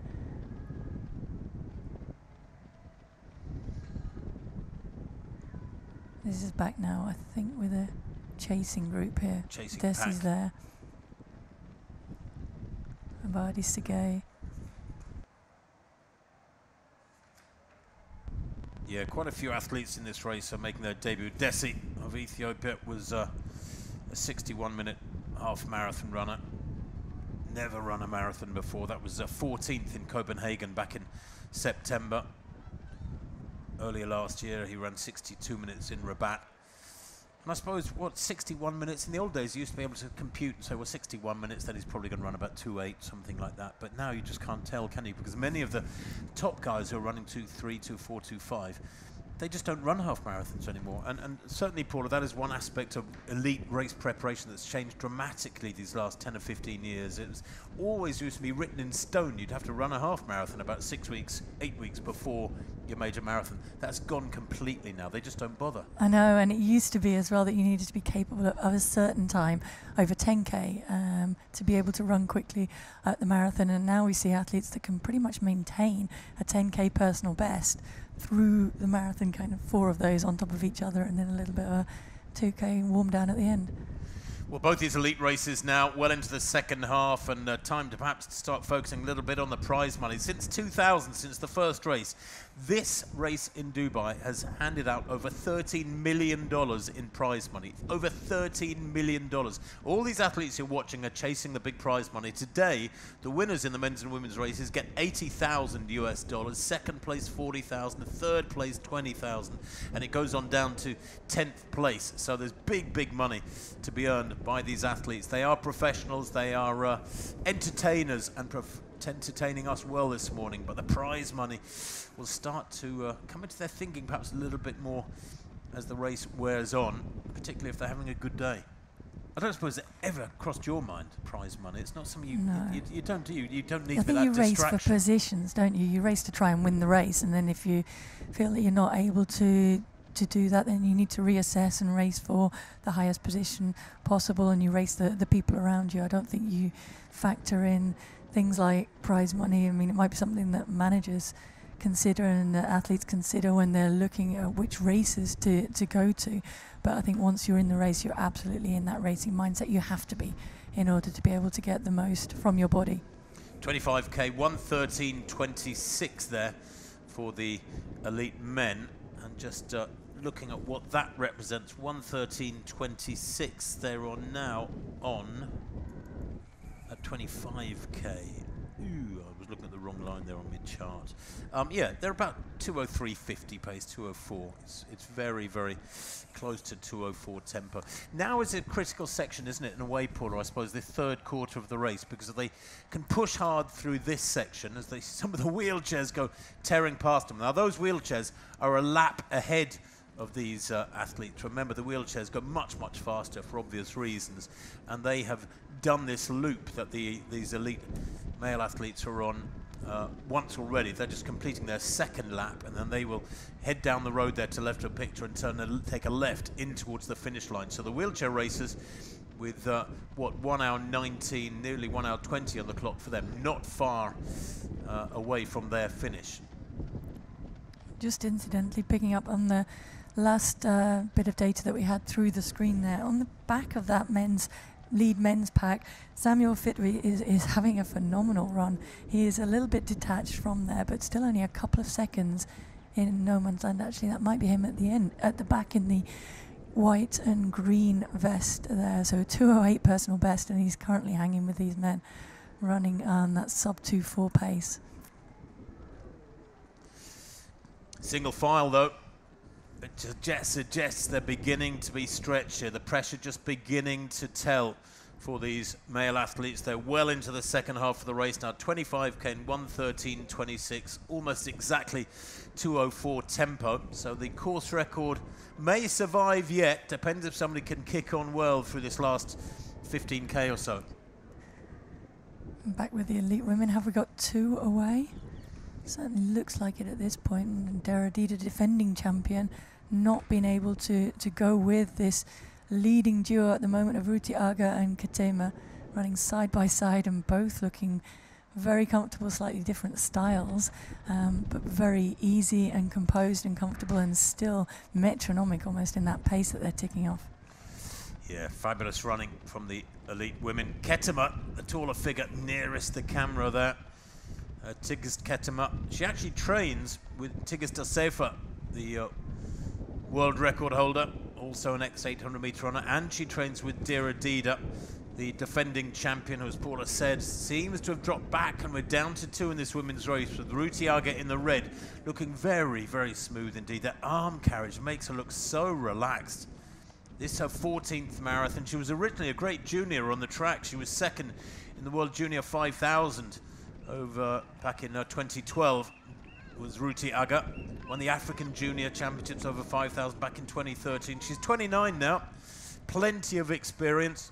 Moved to the roads though very early. I think so many of these young African athletes, Paula, they, they start out on the track and then somebody says to them, probably an agent somewhere, goes, do you realize you can earn 50 times as much money if you actually run on the roads really well? And they go, oh, okay, I'll have some of that. And they start training for the roads. And it's a shame because it's the loss to track racing it's what road racing's game.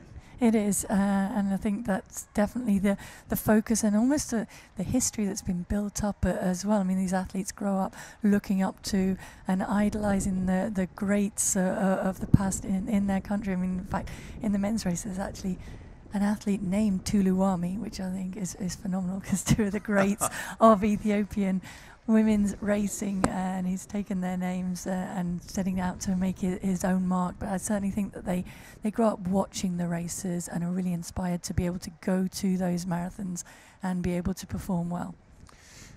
We had a glimpse just then of the chasing pack in the women's race, but they're a little way down on this leading pair.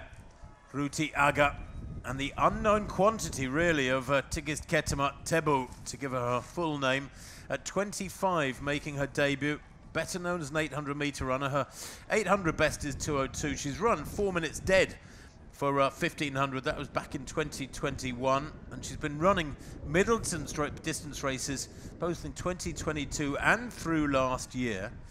And Paula said she ran a six mile race in the USA recently. That is the longest race she's ever run. She's actually run a, uh, never run any further than 10K. 32.55 she ran in Addis Ababa at the high altitude there. Uh, back in 2022. But she has a fabulously knowledgeable coach in Gemedu Dedefo. And uh, it's unfolding well for her at the moment. This would be a massive, huge debut if she were to go a long way under 220. One of the quickest debuts ever if she were to uh, win here. Or indeed just break 220 by a big chunk. That elite men's field making the right-hand turn. That's the lead pack.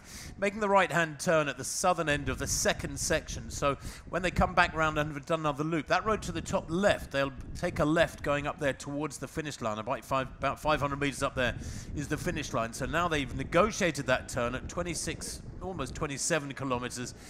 And uh, they're heading back north again. And we've got one, two, three, four, five, six, seven, eight, nine, ten in that lead pack. This the chasing pack. Yeah, this is that chasing pack that hasn't yet, of course, made that turnaround. They didn't ring a bell, did they? But they do know now that it's the final lap and they've had the opportunity to already race over this segment of the course coming up. So to be able to learn, I mean, it's not a, a course that has much in terms of differentiating it from other parts of the course. There are no significant hills or, or drops or anything like that. Um, but they will have had the opportunity to learn about the course and to know where they feel good and maybe in their minds lay down a little bit of a mental marker that, okay, when I get to this point on the final lap, then I'll start to really push the pace and start to ask some questions of the other men left in the race and just see exactly what they have left. And there we have a, a close finish. Is it coming into the finish? I think it is, yes. This is the wheelchair racer sprint finish. They've obviously been watching each other, a bit of a cat and mouse game, because after 42k, it just should not be this close. So we were looking at skippers earlier, who was in the lead, but now this is without a doubt. I think there are all together the other Chinese athletes. So we've got Jin Hui, we've got uh, Yang Zhuan, Luo, and Zuma. And I'm really sorry, there are no distinguishing well, no markers. So there is a, a Chinese whatsoever. athlete that's won that that race. I think it might have been Zuma. One of my great frustrations, I have to say, epitomised by that shot. No, no way whatsoever on the athlete for my being able to identify them. And uh, that's a, a, a, great regret for the sport of wheelchair racing. Our apologies. We cannot call that racer home as yet.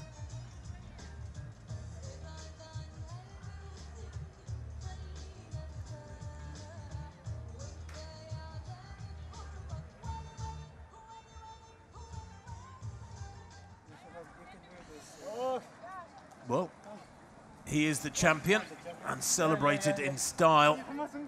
Sprint finishes are always a bit of a lottery, whether it's a wheelchair race or the uh, open field. And clearly feeling the temperature as well. They're just getting the uh, warmer tops on. It's cold in our commentary booth. We're getting a false impression of the actual temperature. It's, it's probably about 14 degrees in here. But great racing again, and we will, of course, bring you those results later in the programme. The uh, top places in the wheelchair race, which had a very small field anyway. But it clearly became a tactical affair rather than uh, anybody really pushing for the, the quick time. And the long journey from China justified with that victory. Indeed. Was it a one, two, three for the Chinese?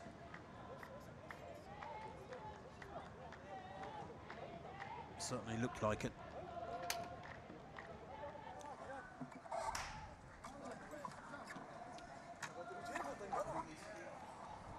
Let's move. Leave me away.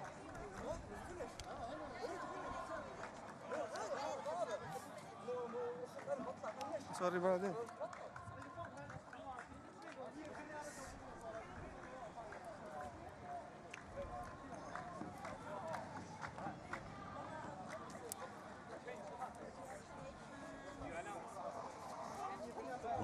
Astonishes me about wheelchair races, Paula, is how they can race marathons on consecutive weekends. They recover. I mean, the, you know, the muscle groups being used and the demands on the body are so, so different to the uh, open field runners. Uh, they, it, it, you know, they frequently race two or three marathons on consecutive weekends. unthinkable for for a, an open field runner. I know, and they're able to recover much quicker. In fact, it, something more difficult is making sure that the chairs do arrive in in good condition to be able to, to race in. It's one of the, the biggest difficulties is ensuring that the, those very expensive, high quality racing chairs are uh, carried properly by the airlines and delivered to the, the races, enabling the athletes to go out and race, as you said, a lot more frequently than the, the runners can do because your body has to recover a little bit more from the pounding. And those chairs, of course, now can cost vast amounts of money. The, the technology that goes into some of the chair designs and it makes a huge difference. I mean, we've talked about how the, the footwear for the open field runners uh, actually can change things, but in the wheelchair racing world, the quality of a wheelchair can make a huge difference. I'll never forget being at the 2014 Commonwealth Games and the uh, top top uh, European athletes, uh, British athletes were using high quality chairs, and there were Kenyan athletes and wheelchair racers at the Commonwealth Games up in Glasgow who were sharing chairs, men and women, swapping around and changing one or two um, elements of the chair design in between races as they handed it over to a, a, colleague of a different gender. I mean, it was, you know, talk about chalk and cheese. Not it really was. an even playing field. And if you look now at the amount of Swiss technology and development, and research and development that's gone into developing uh, Marcel Hug's chair and then others using those newest chairs on the market out there now and are phenomenal pieces of, of kit and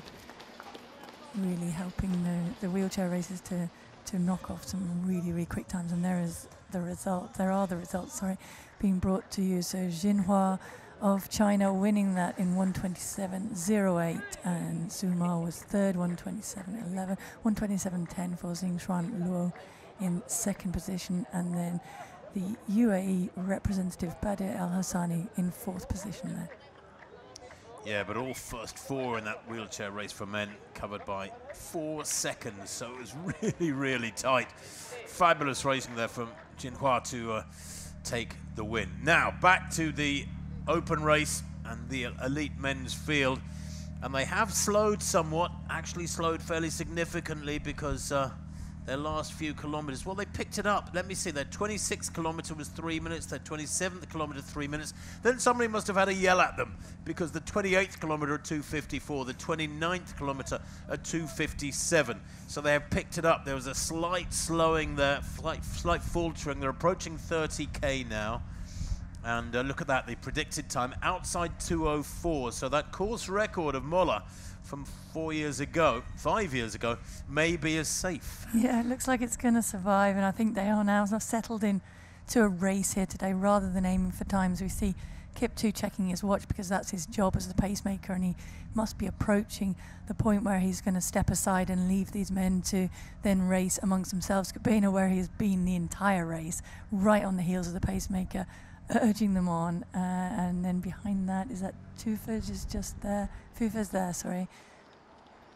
And Magersa is still in there, but really uh, now starting to become more of a race, and that's why we're seeing the surging, the yo-yoing a little bit of, of the pace, just allowing it to slow back, see if anybody else is going to commit to, to keeping it moving along, or if they're quite happy to let the pace drop a little bit and concentrate on conser- conserving energy for the racing in the final couple of kilometres. Well, 30k beckons. I wonder if somebody can turn the screw and dial it down through the final 10k in the men's race and maybe yet threaten that men's course record. We're talking about very fine margins, remember. They're about 30 seconds outside it at the moment. Is this the chasing group, chasing trio in the men's race? Certainly gaps are appearing now as the pressure begins to tell. So many athletes are comfortable through the halfway and a little further. But after that, then, uh, yes, people start to red line. Tsegay in this uh, men's race, he is uh, just having to see athletes head off up the road ahead of him. He is now 35 years old and racing the Swedish athlete, former Eritrean, um, does have a 59.21 half to his name, but yeah, he struggled to be able to, to go with this lead group. I can still, I think, see Samuel Fitwi of Germany still in that second group there, uh, but now it's is it three actual races, three or four races starting to get away. 30k and 128.10. So uh, we'll compute for you there what that implies. 128.10. And that's uh, what a 14, uh, 14.44, something like that. at uh, that 5k section. So the previous one was 1443, then a 1444, I think. Is that right, Paula? You're the mathematician here. At least I'm just telling you you are. You may not be. I don't know. You, you Yeah, speak goodness knows how many languages. 44 Maybe is correct, maths yeah. is a weakness. But um, yeah, the race is building nicely. Perhaps less focus now from us on the the clock than on the racing here, as we see Fufa and Gobena Yeah, locked together.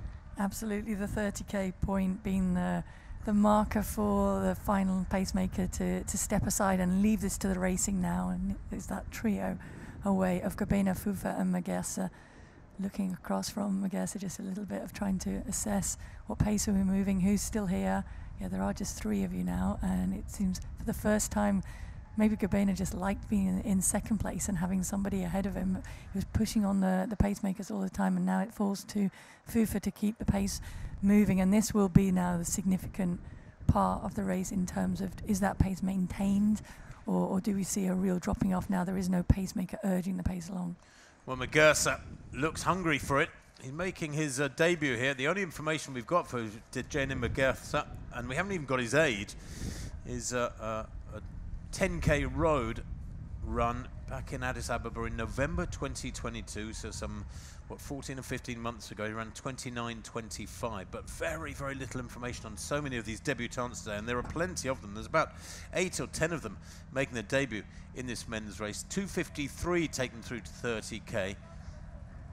So very, very hard to identify which of these athletes will be able to kick on. Yeah, I think the, the rider being that that 29.25 is of course at high altitude in Addis Ababa, and if it was in November, is likely to have been the Great Ethiopian 10k run, and to finish 15th in that, having I've witnessed that race and the sheer speed that they race at uh, and go off at is phenomenal. So to, to finish 15th in that is fairly good, but certainly now he's taken a huge step up in caliber uh, of racing and the performance that he's laying down so far. Well, I've just heard that today it's Christmas Day in Ethiopia. Now, I know they've got their own calendar, things are a bit different, but somebody's going to celebrate Christmas Day in a spectacular style here amongst the Ethiopians, maybe in the men's and women's races. They could be heading for a brace of wins. Coming back down now towards the uh, Burj Al Arab, and the time on the clock 1 hour 31 minutes.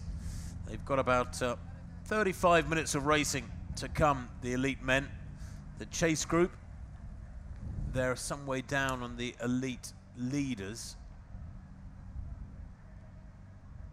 That is looking north. They've negotiated that southern turn and are now heading out on the second lap of the uh, northern section of the course. And there are the splits in the women's race, those kilometre splits, and 309. Now that suggests uh, quite Yeah. some acceleration at the front end here. Ruti Aga, is she struggling?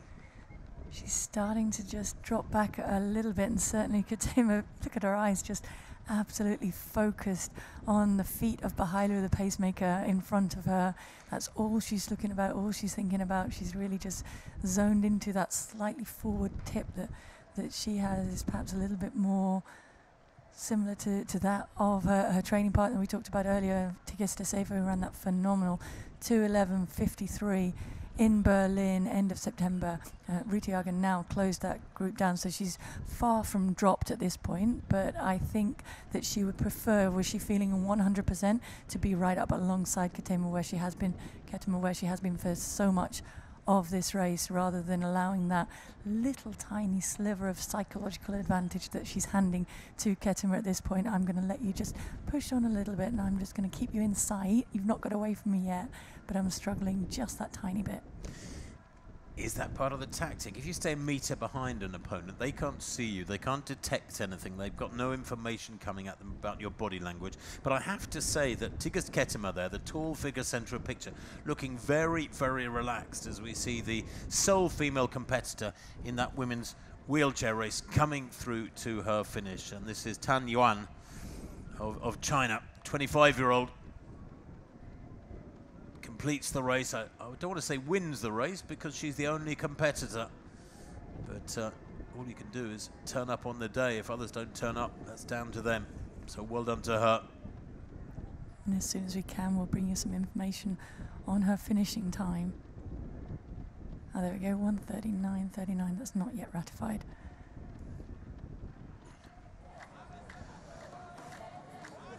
Well, apologies, these captions are coming up so rapidly disappearing again. Uh, but yes, Yawan taking that women's title here in Dubai 2024. I almost said 2023, got to get used to it yet.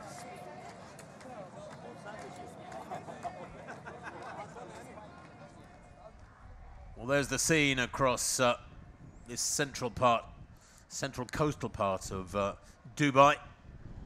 The haze beginning to build up a little bit as the morning air warms up although, as Paula said, the humidity will go down through the morning as uh, temperatures rise and it's burnt off. But back to this women's race, and what I'm impressed about Ketema there in the dark blue strip is how relaxed she looks. She's long-legged, and of course, if you've run four minutes exactly for 1,500 metres, you're a two-minute or two-minute two 800-metre runner. At this sort of tempo, you do feel more relaxed. When you're running uh, each kilometre in, what, about 315, 320, you can feel more relaxed. Now, it doesn't necessarily apply because it's a, it's a marathon. There's 42 of these kilometres to put together. But doesn't she look easy? She looks very, very relaxed and smooth, and there's, there's not even been a glance. I mean, she will, will be able to hear the foot strikes of, of Ruti Aga and gauge that she's dropping back, but she hasn't looked across to look at that at all. She hasn't shown any sign of weakness, only focused on the road ahead as we look at this chasing group behind. And there, that is the predicted race time, not of this chase group, of course, but of the lead women ahead of Ketema and of Ruti Aga at this point, 216.08. Well, they cover the 25, the 5k up to 25k in 1610. So uh, their 5Ks, the last three 5K sections, 1608, 1609, 1610, moving really smoothly and consistently and approaching 30K now in the women's race. And on schedule for breaking the course record by, well, some 30 seconds or more. And I tell you what, I'm beginning to like Keta, uh, Ketema, the way she's moving, just very, very smooth indeed. And I suppose if you've trained with the defending champion Dera Dida, if you trained with a world record holder Tigist Assefa, broke that world record, what, back in late September? That's uh, over three months ago what wonderful reinforcement and what kind of mentorship are you going to get from athletes like that? I mean, fantastic to have a training group so strong. Inspirational, and, and to just know that if you're able to stay close to them in training, then you're up for a phenomenal performance when you're able to, to come out and race. And certainly, it perhaps took away a little bit of that fear and intimidation factor of the marathon for Ketema if she knew that she was able to stay with those women in training and had seen those results that they were able to turn in, then she knows that she can come to a race like this and really lay down a huge performance on her debut. 136.44 at 30k in the women's race. So that was 1601? No, that's a sub.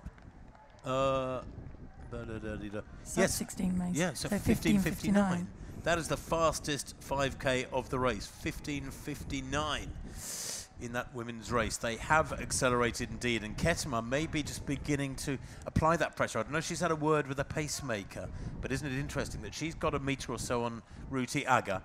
And I think that explains perhaps why Ruti Aga was struggling to, to stay with that pace as well. It's already, she's on for a, a significant personal best. Um, and to know that the pace has lifted that much and to a sub 16 minute pace and make, will make it hard to, to go with, particularly at this point in the race. You don't want to overcommit and deplete your reserves too soon in this final 10, 12 kilometers of, of the race. You need to be able to gradually make those moves and when you do make a significant move it has to be made with confidence and with uh, that knowledge that you're able to handle that lift in pace.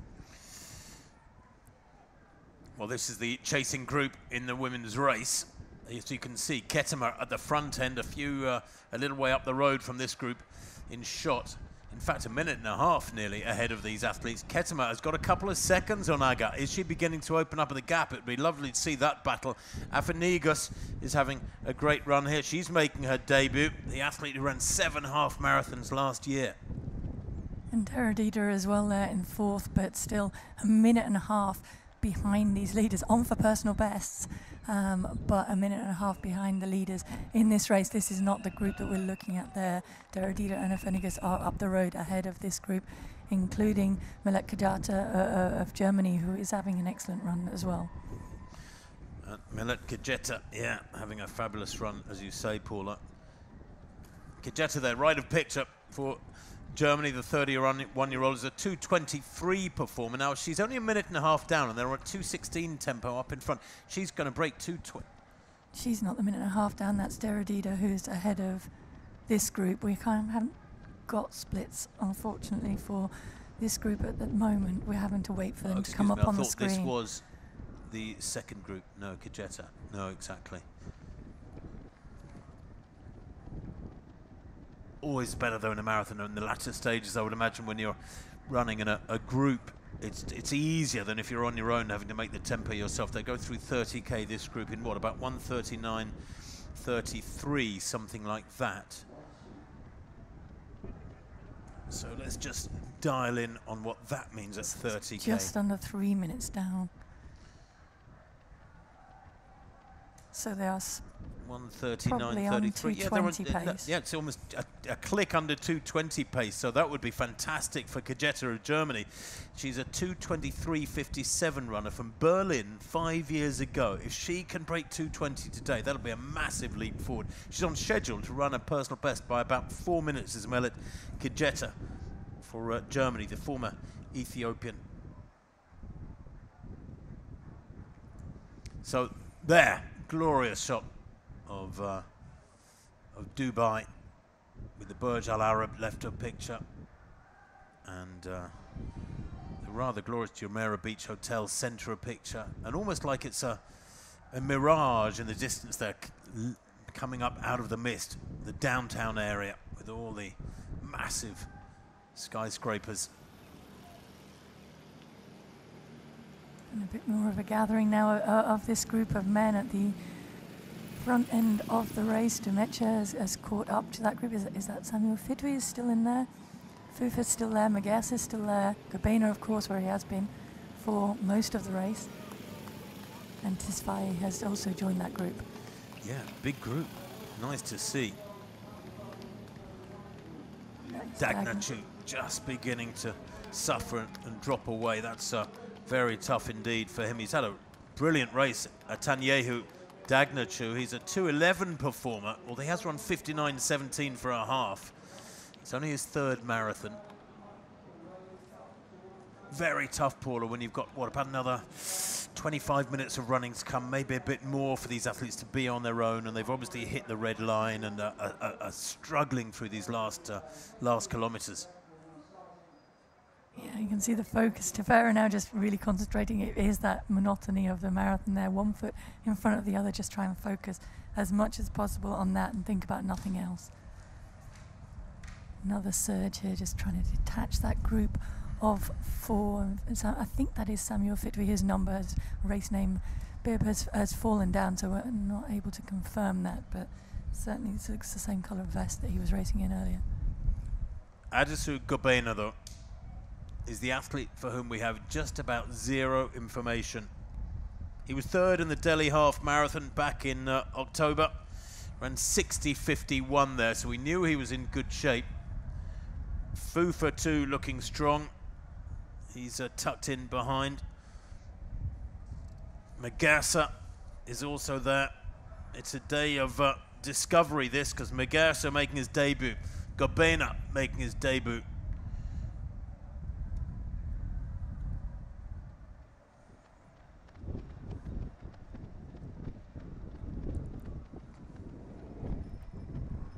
Dumesha back in fourth place. Is this a case of uh, survival now for these athletes? Dumesha running his eighth marathon there, tall figure in dark blue at the back of this quartet. Never raced any track. His best is 207. He's heading for something significantly quicker than that unless he falls apart in these last few kilometers made his marathon debut back in 2018, did Dumesha, where he won in Malaga in 2.11.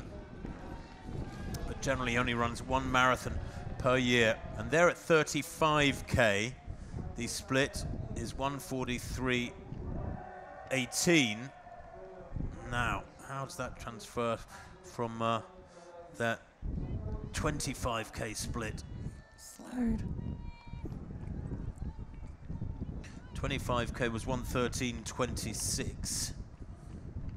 And 30k, 130k, 1508. That's a Yeah. big slowing. That is a big slowing. They've hit the buffers, haven't they? This lead pack. Maybe, though, because they're watching each other. They got to 30k in 128.10. Yeah, it is a 1508. Boy.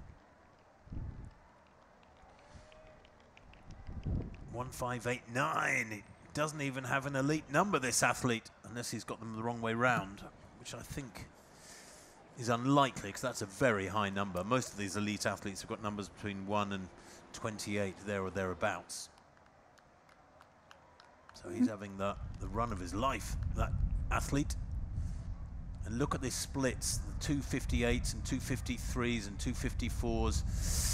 Well, uh, they're gone. We've had three, couple of 304s, a three minutes, and then a 302 at 34. 258 now. Is Gobena just beginning to try and wrestle control here, Paula? Because single file. Well, he's done this for a fair amount of this race. He was nipping at the heels of the pacemakers when they were laying down the pace earlier on, and then he settled back a little bit when there were three of them away, uh, and is now very, very anxious to, to keep the pace moving on. Of the of the group of four, Fufa is actually the the quickest on paper, 205. 57 he has to his name. He's in third place and very happy to let the race unfold ahead of them. Maybe he's just keeping his powder dry for recognizing that it's not going to be a super quick time today. It is going to be about racing and about getting it perfectly right on that run in to the finish. And as we saw in that shot earlier on, they sweep around that final left hand turn up towards the finish, and they have about 500 meters to run there. Well, back to this women's race, and we have got, I think, an individual leader, a breakaway here now from Tigist Ketema. Yes, Ruti Aga struggling back there behind that other pacemaker, that other pale pacemaker. The gap is about 30 meters, 35 meters, and this will be one of the great debuts in the world of marathon racing history. The 25-year-old Tigist Ketema, unbelievably a middle distance specialist up to and including last year, making her marathon debut.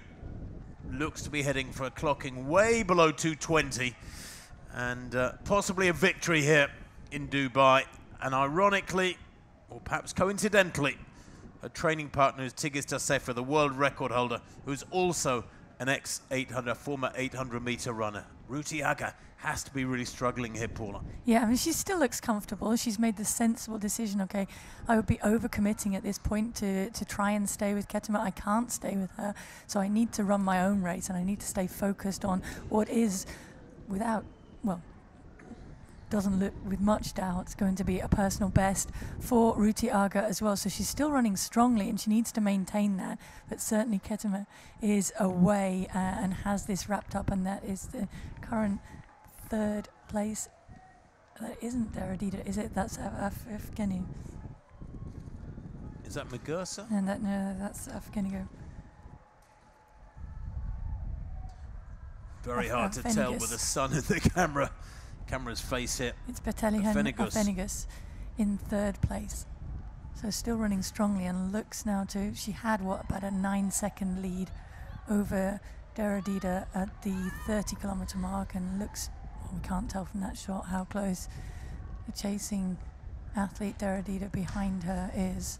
She too making her debut, just 22 years old. Hard she to may see the actually be closing on Ruti Aga ahead of her. I can see a male runner just at the front of this, tantalizingly not quite panning around enough, but she may be closing. Though that would have been a lot of ground that she would have made up. So Tigist Ketema. Well, she is married, doesn't have any children yet. Very, very religious, as are so many of these uh, Ethiopian athletes. Says she loves music, loves racing in the USA. Her training partners, not only Tigist Assefa, the uh, world record holder, but the defending champion, Dera Dida. comes from a, a squad with so much experience, so much knowledge, and the leader in the men's race too. Well, I thought he was on his own for a second there, but it's not the case. Not yet, anyway. They have dropped one, haven't they? They dropped Fufa. Looks to be only three men now. In that shot, there is Megersa. The Jenny Magassa. Yep. And where's Fufa? There There's Fufa in the green. And Fufa, as you said quite rightly, Paula, a 205 performer. Although he didn't race at all last year, didn't have a single race in 2023. His last race was an eighth place in Vienna in April 2022. So he's racing for the first time in over a year and a half, and he only ran 210 in Vienna that day. So this is still quite some comeback from Fufa. If he can hold it together these last 5k, he will have had a, a brilliant comeback, although maybe not making the first three. Gobena, Megersa, Dumesha, place your bets. Dumesha looks pretty comfortable, doesn't he, in third place? Do you think he's just bouncing along, looks looking comfortable? You can never, you can read too much into it. Yeah, you can. Uh, some athletes, it, it's written on their faces how tired they are. Others can look very, very composed even when they are about to crack. So I think it, it's it's it's motivation as, as well when you're looking for some sign of weakness on, on your rivals, not to get too caught up into whether that's visible or not. Some athletes are very, very good at, at hiding those signs, and others can display them and be a long way from actually fatiguing and being out of the race. I reckon uh, here doing the work. I reckon Dumesha is just sitting and waiting. I think the other two are sitting and waiting, and so the pace has slowed because nobody's really running aggressively and chasing the time. They're now thinking about the win. This is a race against each other rather than race against the clock. The last two kilometres, three minutes for the 36th, 301 for the 37th. They've forgotten the time now, and rightly so. They are racing here in Dubai in this 23rd edition and reaching the real climax of the race. About mm. 5k to go, four and a half k to go. And racing into unknown territory, I think. But at least certainly two of the athletes here who are making their debuts, Megersa and Gobena, have not raced over a marathon distance before. So very much now really in, in learning territory for them, taking the chance to, to look around. And it's yeah, perhaps telling that Dumesha is allowing the debutants to, to, to lead this race and he's settling in, gathering himself. He knows what is to come. He knows what it feels like to run over the final couple of kilometers uh, of, a marathon and to be able to, to lift the pace. It's not a sprint at the end of a marathon. It, it is who is able to muster the most from their, their legs uh, and from their arms as well, driving with that to be able to just lift the pace at the finish. The current leader in the women's race then, Tigist Ketema, 1 hour 51 on the clock. She's heading for a time here, barring disaster, of a long way under 220. It will be one of the most remarkable uh, debuts in the world of women's marathon racing in history. Wonderful training partners. This former middle distance runner has learnt so much in recent months from those training partners, more experienced athletes, and she's gone through uh, 35k. Was that the match she crossed just then in this women's race? Just checking if that was the 35k. The times have slowed a bit the last few kilometres. That's understandable. The uh, indeed the last three kilometres, 313, 312, 315. Not yet through 35k. I don't know what that mat was that she was crossing just now. I thought she was crossing a mat, but she's got that long raking stride, Paula. She looks so relaxed, doesn't she? I mean, really lopes. I think that that is the epitome of loping her style. She is, and the ex- facial expression is not really changed from the opening kilometres. It's still extremely relaxed, and I think she's getting close to being able to, to dip under that 216 marker. I'm trying to do a little bit uh, of research on that fastest debut. I know at one point it was Ayana had made the fastest debut. Um, Tigist Assefa herself was very quick on her second marathon with that 215.35 in Berlin before she backed that up with the 211.53 last year. Um, but certainly Ketema announcing her arrival on the scene of marathon racing in style here today and seems like there's more to come yet when she would run and, in, a, a faster run race from the start of the race and be able to build on that. Already that's a 14 second lead that she has established over Ruti Aga, who is still running very, very well in second position. And setting herself up for a huge personal best there as well. 152.53 at 35k. Uh, that is a Pfennigus running in third position. So yeah, she's not making. She is catching some athletes ahead of her, which will help her. She's able to focus on those athletes up the road ahead of her and draw on them in these closing stages. That's a 1609, 5k to 35k. So it has been astonishing. The uh, damaging 5k segment in the women's race was uh, the 25 to 30k segment, which was uh, 15.59, the quickest of the race by quite a chunk. And that is when uh, she turned the screw Ketema on the far more experienced Ruti Aga, the fastest athlete in the race, and broke Aga, Aga in effect, and now has that 14 second cushion. Back to this men's race, though, and we're down to two by the looks of things. And uh, it looks to be uh, Dumesha, Lemi Dumesha, the 28-year-old with the best of 207. That was a win in Castellon back in, in Spain, back in 2020, four years ago now, almost uh, exactly four years ago. Him up against uh, Gobena, Adisu Gobena, making his debut. So we could have double debutant victories here today if Gobena can push on here and rid himself of the attentions of Lemi Dumesha, the 28-year-old. Made his marathon debut back in 2018, Dumesha. This is his eighth marathon. The man in the darker blue strip there, far more experienced. He'll have been through this physical situation, I suppose, Paula, where you've got to dig deep and gauge your effort in these last few kilometres. Do you think that's significant? I do. Um, I think having that experience there certainly helps. When you're a debutant, you also don't know about it, so there's no fear there either.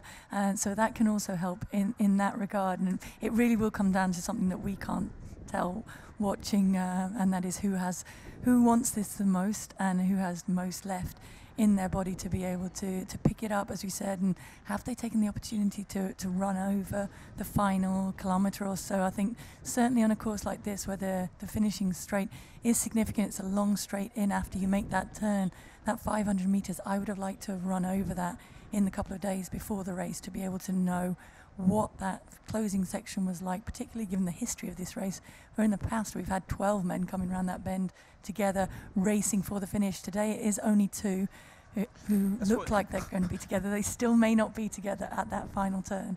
That's what you call a commentator's nightmare. when 12 men turn a corner with about four or 500 metres to run. Well, oh. incidentally, we were looking at the finishing arch, weren't we, yesterday, and hoping that there weren't going to be 12 men running together because it's not quite wide enough to fit 12 men under at the same time. Yes. But I think we're safe today. It'll be fine. So locked together then, with just a few minutes to go. 39 kilometers. That was a three-minute clocking. You can see how the times have slowed these last 4K as there's been a bit of cat and mouse activity going on. Each of the last four kilometers, three minutes or slower. But now is Adisu Gobena, the debutante, if you please, just beginning to ask the questions of Lemi Dumesha, far more experienced Dumesha, the 207 performer, but he's heading here surely for a, a big personal best. Yeah, either there's a bit of cat and mouse going on here, or this is an effort, another effort from Gobena to try and break away from Dumesha. Dumesha now settles in behind him, focuses on the heels of Gobena ahead of him. So is he trying to send a psychological message of okay, I, you can tire, you can slow down a little bit because I'm starting to tire a bit, um, and is he trying to hide, if you like, from the eye line of Gobena as they approach the what the three kilometers to go? It's going to be coming into the final two kilometers of, of, racing shortly. The danger, of course, if they start playing two cat and mouse too much, is that they do allow Muguerza, who's at the back of shot, um, to get back into the race uh, and be able to, to challenge for the victory. But it doesn't look like that's a danger just yet. The 39k split, by the way, as they approach 40k, was 155.21. That equates to 204.50. So forget the course record, that is safe. Molla will be celebrating his 2019 uh, course record remains safe. But 204.50 is still fabulously fast, and these two battling it out, and I can't see either of them really at the moment faltering significantly. The dark blue strip of Dumesha in second place is the more experienced, contains the more experienced athlete. There's that 40k drink station, and uh, yeah, Gobena gets his okay. And Dumesha chooses not to, which is a, an interesting decision. I mean, all that 40k drinks bottle is, is going to do is, is give you a little bit of an energy surge, a sugar surge, and sometimes even the science shows that having that in your mouth, even if it doesn't actually reach your stomach in time, can trick the brain a little bit into being able to, to think it has another surge of energy coming and to pick up the pace a little bit. So it is significant who is feeling better. Do they take that bottle or, or do they not take that bottle? Well, that uh, last 5K was a 15.05. The previous one is a 15.08. There has certainly been some uh, cat and mouse going on. Here is Megersa. He's back in third place. Fufa, of course, back in fourth. Megersa, another debutante. So two out of the top three in Dubai 2024 with uh, just a few minutes of running to come Our debutantes. This race has a reputation for discovering big names. Almost two hours on the clock, as you can see, bottom, bottom left of your screen. And we could well have a debutante winner in the men's race and in the women's race. It looks very likely in the women's race because the leader by some margin now, 14 seconds her lead a few minutes ago, is Tigist Ketema, the 25-year-old former middle distance runner. She was safe and away and heading for victory last time we saw her a few minutes ago. But this battle, these two, Gobena the debutante and uh, Dumesha locked together is enthralling neither giving anything away. What do you reckon, Paul? I mean, I'll tell you what's striking is that difference in running style. Dumesha there in second place with his arm carriage quite wide. Gobena perhaps looks the more relaxed of the two, just chugging along with his arms carried right up against his torso. Yeah, Gobena has a, a, shorter stride, a quicker cadence, uh, and that is, is making for, I think, the different style is a bit more of a loping style to Dumesha behind. But I think one thing that for sure with marathon racing, when you reach this stage of the marathon, 40k, 41k, your body is going to find its natural running style, and however much you try and change that, and the shoes may even change that slightly uh, as well, it will revert back to when fatigue kicks in. That's the, your style is your style, and it's the one that's the most efficient for your body. Coming from someone who took a lot of criticism on my style. I don't know what. Do you know what? I always defend your style because people go on, oh gosh, she used to nod her head. Her head was all over the place. And I always say, doesn't matter. Look at everything that was going on below Paula's head. And I'm, I'm not going to blow anything, uh, you, you know, where it shouldn't go.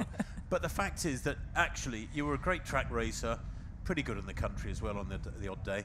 And but I think I think you had a beautiful running style and, and a bit of the nodding head.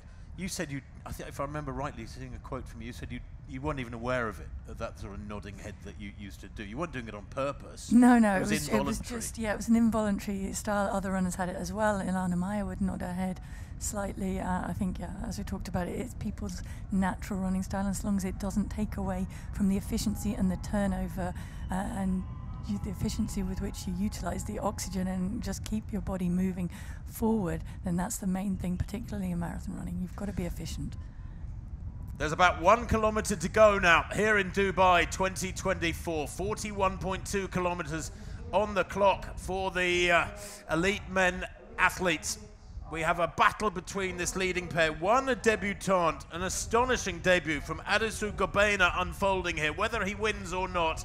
And the more experienced Lemi Dumesha, both of them uh, Ethiopian, tucked in behind in second place. Dumesha with a best of 207. They're heading for a time, by the way, of around 204.50. They should break 205, barring any significant slowing. And as I say that, so Gobena has a little glance over his shoulder with about three minutes of to running to come, perhaps less. And he sees a gap between himself and Dumesha, and I think he might have the win. $80,000, remember, to the winner here. Take that back to Addis Ababa, and that is powerful money. And the gap is growing now with every stride, and you feel as though in boxing parlance, Lemi Dumesha now, left of picture, almost out of the picture, has thrown in the towel, or his aides would have done in his corner and Adisu Gobena. Surely, Paula, now when you get a gap like that and you recognize it, you glance over your shoulder and you think, at last, you get this massive surge of adrenaline. You've got your reward. Yeah, absolutely. And then you make the turn, which he's doing now, making this turn around. So it's about 500 meters to race at this point, just under and they're just slightly over that 500 meters. And he's, hugging the curb, isn't he? But he, he will see the finish ahead of him, and he'll be able to aim for that. It is his debut, and it's gone smoothly for him from the beginning. He was always the one behind the pacemakers, pushing the pace on, and now he gets a clear run at that, and he's just building and building on that lead all the way to the finish. Well, his 41st kilometre was 3.12. It was almost the slowest of the race. He was uh, waiting for this surge, and in middle distance terms, he's exploded away from his competitor, Lemi Dumecha, his compatriot, who will finish second. This is going to be a magnificent victory for Adisu Gobena Aga, to give him his full name. The Ethiopian, we don't even have his age, he's relatively anonymous. This is his debut, and it will be a winning debut. He was third in the Delhi Half Marathon back in October. That's his only major international clocking that I'm aware of. He ran 60.51 there. Well, today, that performance will have been a wonderful backup to this, but this is a vastly superior performance. It's a win, a victory in hand for this athlete, Adisu Gobena. And watch this name, because look at the clock. He's looking strong. He's still looking very in control. No signs of strain. The form for Dumecha in the background has gone somewhat. He's really struggling as he tries to chase this man down and hang on to second place. But this is going to be a comfortable, dominant run effectively in the final stages from Adisu Gobena. The Ethiopian maintains the wonderful tradition. The list of victories from his compatriots over the years here has one more name on it. Gobena is the winner of Dubai Marathon 2024 in spectacular style. No wonder he's celebrating. And a hug from his coach there has to be one of the best hugs of his life as Dumesha comes through for second place. He has battled away, but in fact, that uh, relaxed style of his was concealing deep, deep fatigue. He is runner-up, albeit in a fabulously fast time. And third place, well, coming through, I think this is Magersa coming through. Dejene Megersa, another debutante. Absolutely brilliant running from him. Very little information on this fella. We just have a, a relatively quick 10K at altitude in Addis Ababa over a year ago to his name. But now he will be noticed. Now he will be in demand. He is a major marathon runner. 205.01 unofficially. Yet to be ratified for Adisu Gobena. I should think that is one of the last things on his mind right now as he celebrates that victory. And look at the battle for fourth place. The winner Gobena, second place Dumecha, third Magersa, and Fufa coming through. And Fitwi is that back in fifth place. Fufa is going to finish fourth place by the smallest of margins, and Fitwi coming through for a brilliant fifth place. That is a personal best by under two minutes, I think, for Samuel Fitwi, and stands him in great stead moving forward in Olympic year. We have to confirm that is him because his number bib has fallen down, but I'm fairly certain it is.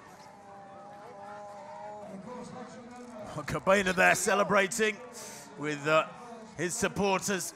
Ethiopian flag, the banner being thrown across his back. Dagnachu coming through in sixth place. That's a great run from Dagnachu. That's a huge personal best for him. He's run under 207. His previous best, 211.31. He's run a personal best by over four and a half minutes. I'm going to give him unofficially 206.59, Dagnachu.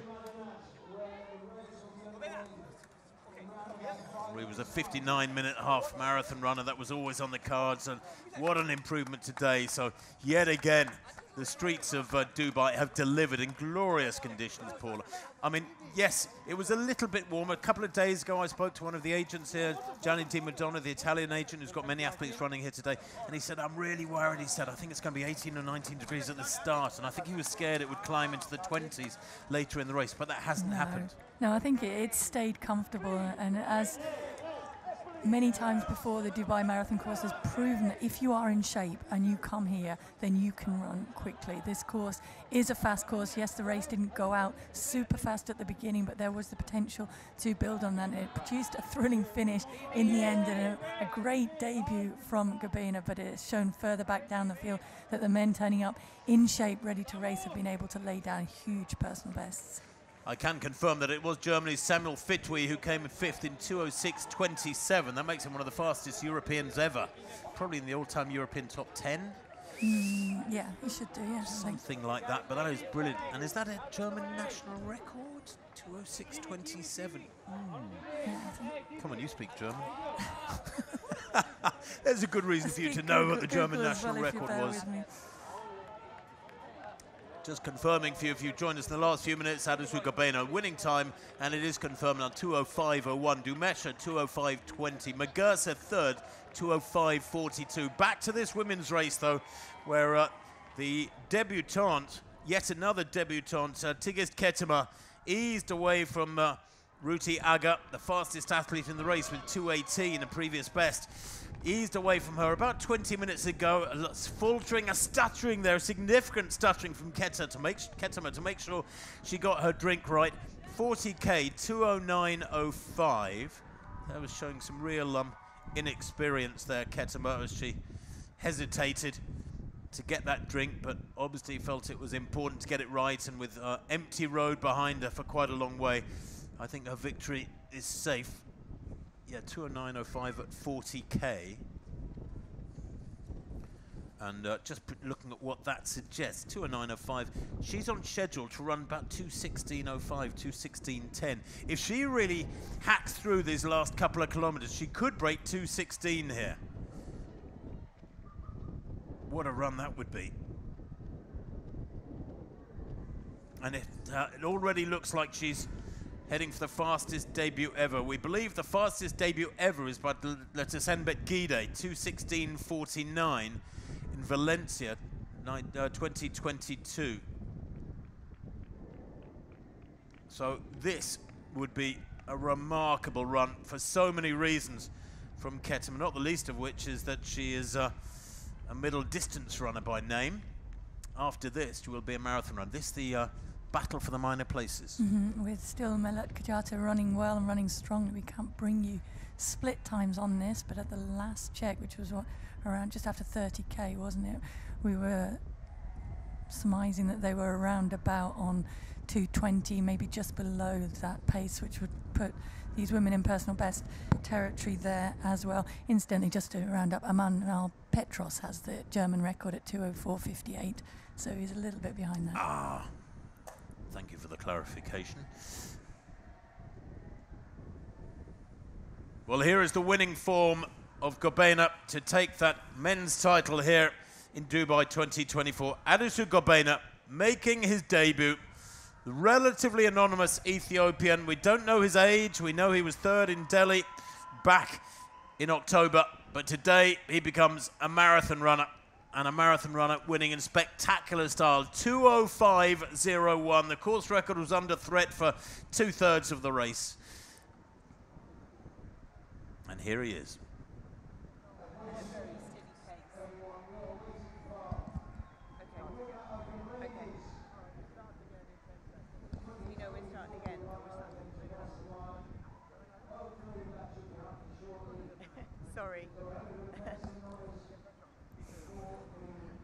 Adesua, congratulations. It must be fantastic to win on your debut marathon.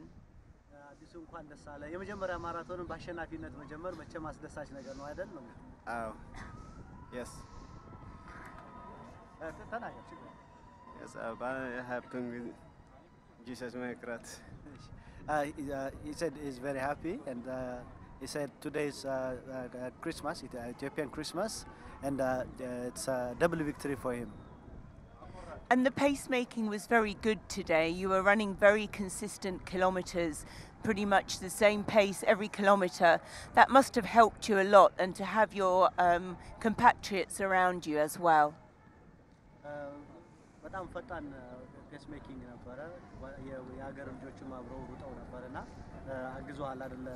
የፔስ መከሮቹም ጥሩ መሆን አሪፍ ነው። የኬንያዎች ስፒከሮች በጣም አሪፍ ናቸው። ፌስ በጣም ገፍተናል። ቤሱ ምርጥ ፌስ ሄደ ሄደ እሱ ጋር ሄደ አሪፍ ነው።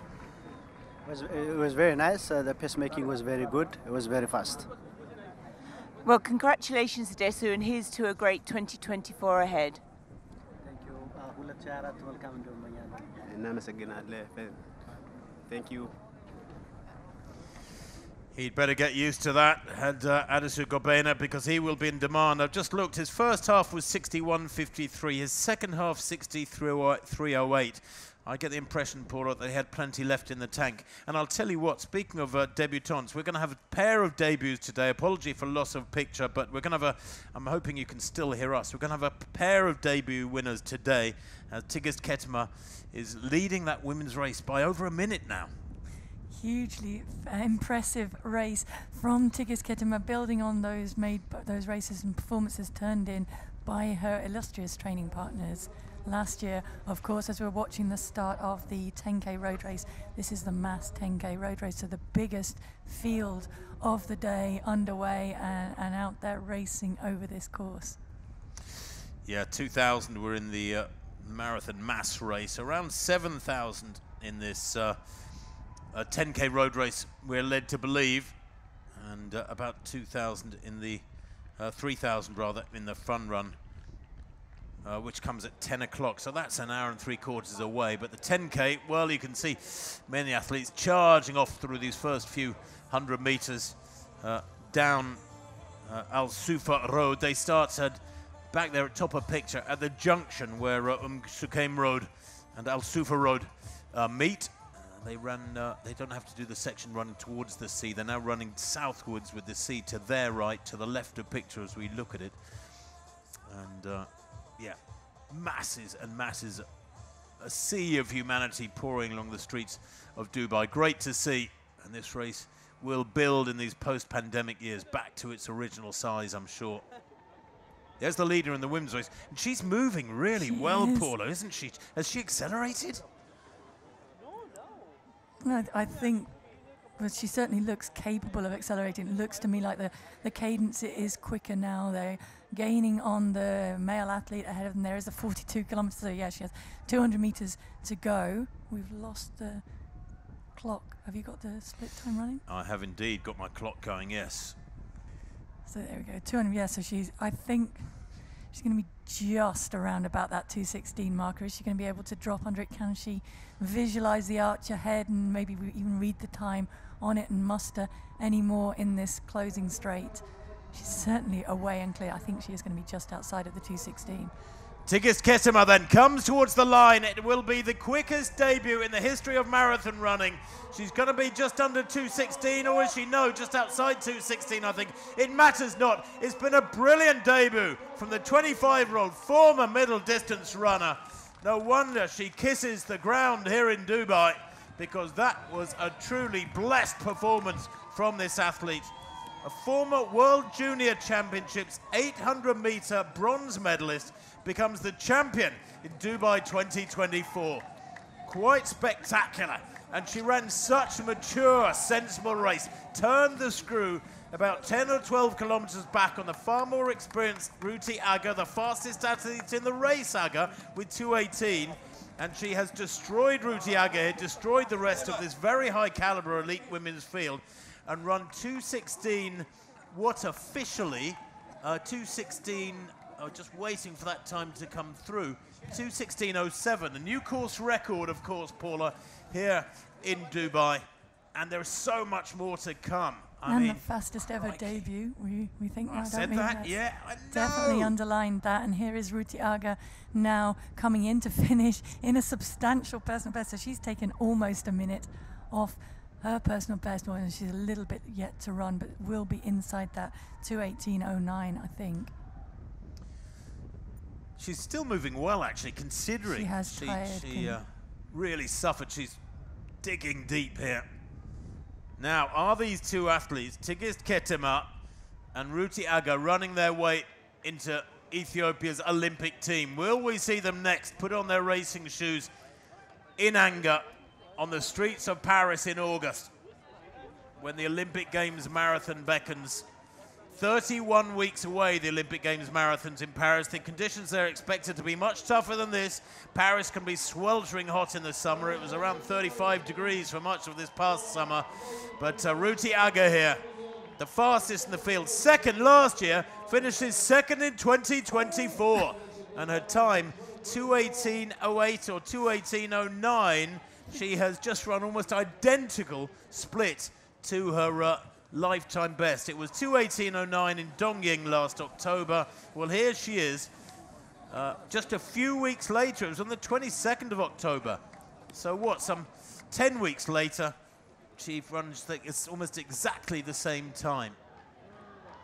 And Dera Dida, the defending champion when the gun went, she is now last year's champion, coming through for third place. We did have Afenigus was running in third place for a lot of the race, so I'm not sure if we've missed her. I haven't seen her cross the finish line opposite us, so it looks like Dera Dida has been able to reel in Afenigus ahead of her and will take that third position. Well, Dera Dida was a great champion last year, winning in 221.11. She's clearly going to run a lot quicker here today. Indeed, if she gets her skates on, she might set a personal best. She ran sixth in Berlin with 219.24 back in September. It's going to be mighty close. Oh, she's going to be a couple of seconds outside it. Look at the clock, bottom left of screen, 219.27 unofficially. And uh, she's missed her personal best by about three seconds. Finishes in third, but it's another brilliant run from her. She's a wonderfully consistent runner. She's run uh, six marathons, all of them very good. Between her slowest was 2:22 before today, and it's still her slowest. So that is a superb run from Dera Dida, third place in under 220. Ketema finishing supremely, and I think Paula Radcliffe with more in the tank. Yep, definitely. I think there's a lot more to come, a lot more to see yet from Tigist Ketema. Has she done enough to even make that Ethiopian team for Paris? But certainly underlined huge potential. Of course, she's tired at the end of the marathon, and the fatigue is going to be there. But a phenomenal debut from her, and hints of so much more to come as she builds up that experience. Well, I can confirm that our winner ran 2.16.07. We're going to be talking to her very shortly, Tigist Ketema but also that uh, Ruti Aga did run 218.09, exactly the same time as she ran back in October, to the second, equals her personal best.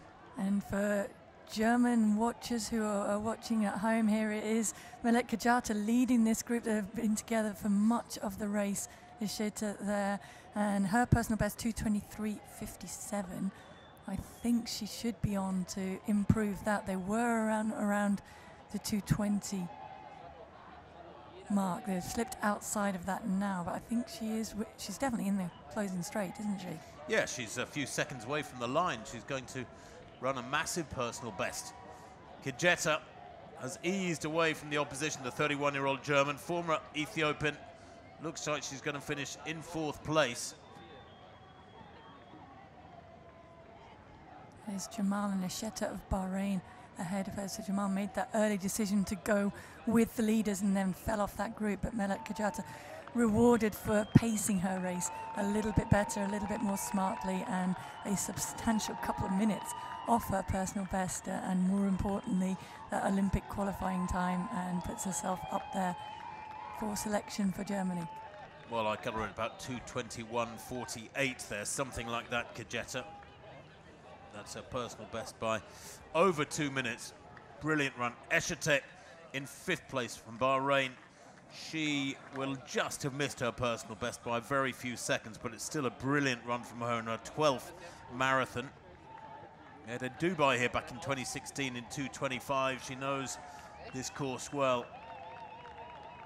And uh, Atalel Anmut of Ethiopia, a 222 performer.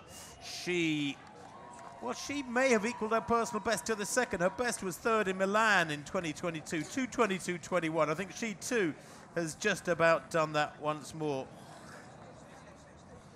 in her fourth marathon. The winner of uh, Stockholm back in 2021 in 229.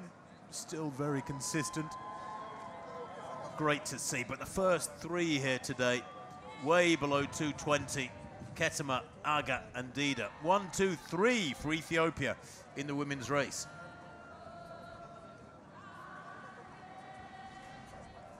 And it sounds like the celebrations have uh, started for the Ethiopians.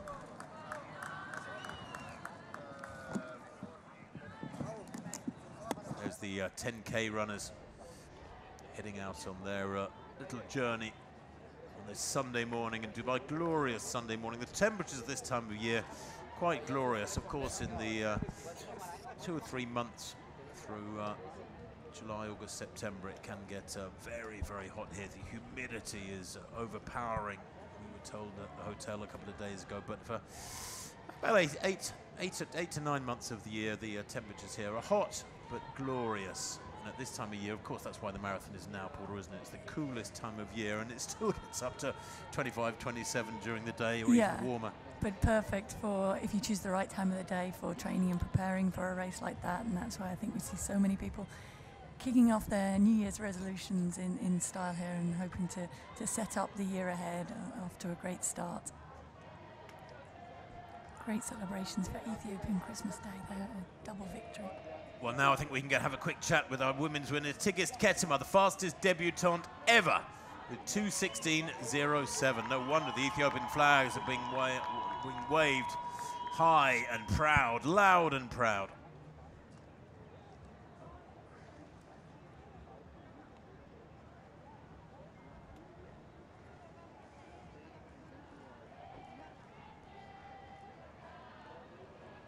What a sight. Rearing their heads out of the, uh, the lands of Dubai. First three then in the women's race from Ethiopia, as you can see. Tigist Ketema, 2.16.07, of course, record improving on the... I understand uh, last year you were running on the track at 800 and 1500. What made you um, go up to the marathon? የመጀመሪያ ማራቶንን በዚህ መንገድ ማሸነፍ ትልቅ ስሜት አለው። አምና ግን 800 እና 1500 ነበር ስትሮጭ ወደ ማራቶን እንዴት ቻልሽ? ወደ ማራቶን የመጣሁት ትሬኒንግ በቂ ሰራው ሺ አምስት መቶ እና ስምንት መቶ ስሰራ ማለት ነው በቃ ውጤት የለውም። ከዛን ወደ ማራቶን ሄድኩና ማራቶን ጥሩ ሲሆን ወደ ማራቶን ሲሄድ አሁን ይሄ ውጤት በዚህ እንደዚህ ደረጃ ይዛለሁ ብዬ አላ- አላሰብኩም ግን ከእግዚአብሔር ጋር ይሄን ደረጃ ይዣለሁ። አመሰግናለሁ። መጀመሪያ ጊዜ እግዚአብሔርን አመሰግናለሁ። በጣም ደስ ብሎኛል። She said she is very happy to win uh, her first marathon. Uh, but the, the, the reason that she moved from uh, the track to marathon is because in 800 and 1500 she worked, even though she worked very hard, but when it comes to results, uh, they are not satisfying for her. So she worked hard on, uh, on her preparations and then uh, she became a marathon athlete and she, she said she didn't expect to win her first marathon, but uh, with help of God she made it and she's very happy. So today was a very fast time. Um, I think one of the fastest, if not the fastest debut ever. It was very consistent through the first few kilometres, but got quicker towards the end. You must have been feeling very good. በጣም ፈጣን ከሚባሉ የማራቶን የመጀመሪያ ሩጫዎች አንዱን ነው የሮጥሽው። ምናልባትም ፈጣኑ መጀመሪያ ላይ ትንሽ ተመሳሳይ አይነት ነበረ ውድድሩ። ወደ መጨረሻው ግን እየፈጠናችሁ እየፈጠናችሁ ውድድሩ ፈጥኗል እና ምንድን ነው ምክንያቱ ነው? ውድድሩም በጣም ፈጥኗል፣ ግን ትሬኒንግን በቂ ስለሰራን አሰልጣኛችንም በጣም የሚያሰራ ከእግዚአብሔር ጋር እግዚአብሔር ረድቶኝ ይሄው የዚህ ደረጃ ይዣለሁ። በጣም እግዚአብሔርን አመሰግናለሁ እና አሰልጣኝንም አመሰግናለሁ። Yeah, the, the, the, the competition was very fast. The race was very fast, but uh, I, I we did uh, I did a very good training, and I was expecting it, uh, and I thank God and I thank my coach for that. So this year is 2024 and it's the Paris Olympic Games. Is your goal in Paris this year? What What are your aims for this big year? የ- ይሄ አመት የማራቶን የኦሎምፒክ አመት ነው። እቅድሽ ለፓሪስ ማራቶን መወዳደር ነው። እ፣ ፓሪስ ኦሎምፒክ ከእግዚአብሔር ጋር ከእግዚአብሔር ፍቃድ ከሆነ እሳተፋለሁ፣ ከእግዚአብሔር ፍቃድ ካልሆነ ደግሞ እሱን ጠብቃለሁ ማለት ነው። If God allows, I will, um, I will be very happy to run in the Olympics, but not. We'll wait for God's will. Big congratulations on a fantastic performance today. እሺ፣ አመሰግናለሁ። Thank you. Well, the winner of the women's race there, Tigist Ketema, the fastest debut ever, 2.16.07, bringing home a 1-2-3 for Ethiopia in the women's race, Paula, but also a 1-2-3 in the men's race as well. Adisu Gobena, another debutant, so a brace of debut winners here. Quite astonishing. I'm not sure if that's unique or not. I suspect it is, particularly when you look at their times being super fast. Yeah, I think it's unique to Dubai, and I think Dubai has become known perhaps because it falls around that Christmas period for uh, the Ethiopian athletes and when they've seen so many of their compatriots starting, of course, with the great Haile Gebrselassie coming here and running so quickly, it, it's become the place to come and make your mark. And I think fitting today that we see two debutants come here, race in style, learn about the marathon in one of the best places to be able to do so and lay down their names as somebody to be watched for the year ahead. Absolutely. Well, what a special day of racing it has been today. Confirmation of the uh, men's result. The Adisu Gobena debutant winning in 205.01. Lemi Dumicha 205.20 in second place. Dejene Megersa also won on 206 there in third place. 205.42. A 1-2-3, indeed a 1-2-3-4 for Ethiopia in that men's race. And as you can see, brilliant running from Samuel Fitwi for Germany in fifth place, 206.27. And the uh, best Kenyan, Douglas Kipsanai Chebi in seventh place, 208.15. Great running here in Dubai once more. And in the women's race, well, special running, the fastest debut ever. You could almost call it a world record debut run there, 2.16.07 for Tigist Ketema, the former middle distance runner from Ethiopia. She takes the win from Ruti Aga, the fastest in the race before the gun.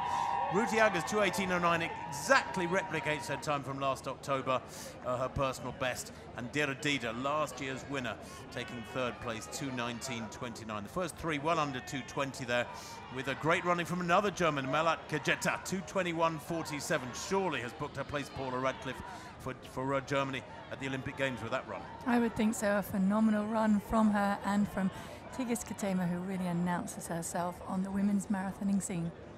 Yeah, very exciting racing here today on the streets of Dubai in 2024. The marathon is back with a bang to its old course here beside the coast. We've had a fabulous day. I hope you've enjoyed our coverage too. Thank you for being with us. We'll see you again. Bye-bye. Bye.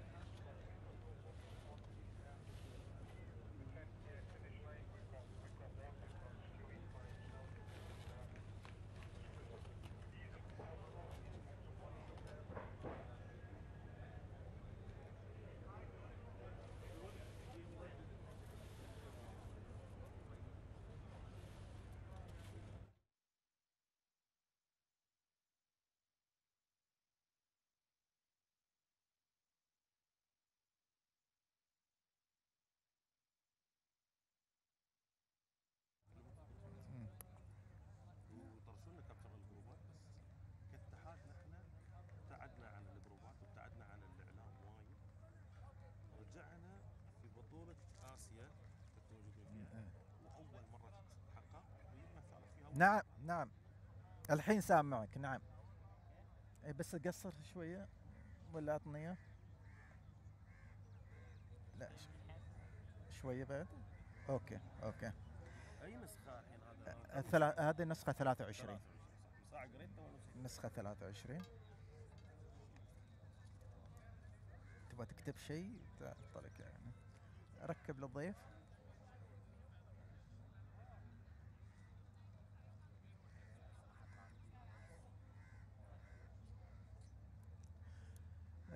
ملحم. ملحم. ضيفي ناصر عاشور. أمين عام أمين عام اتحاد الإمارات لألعاب القوة. نعم.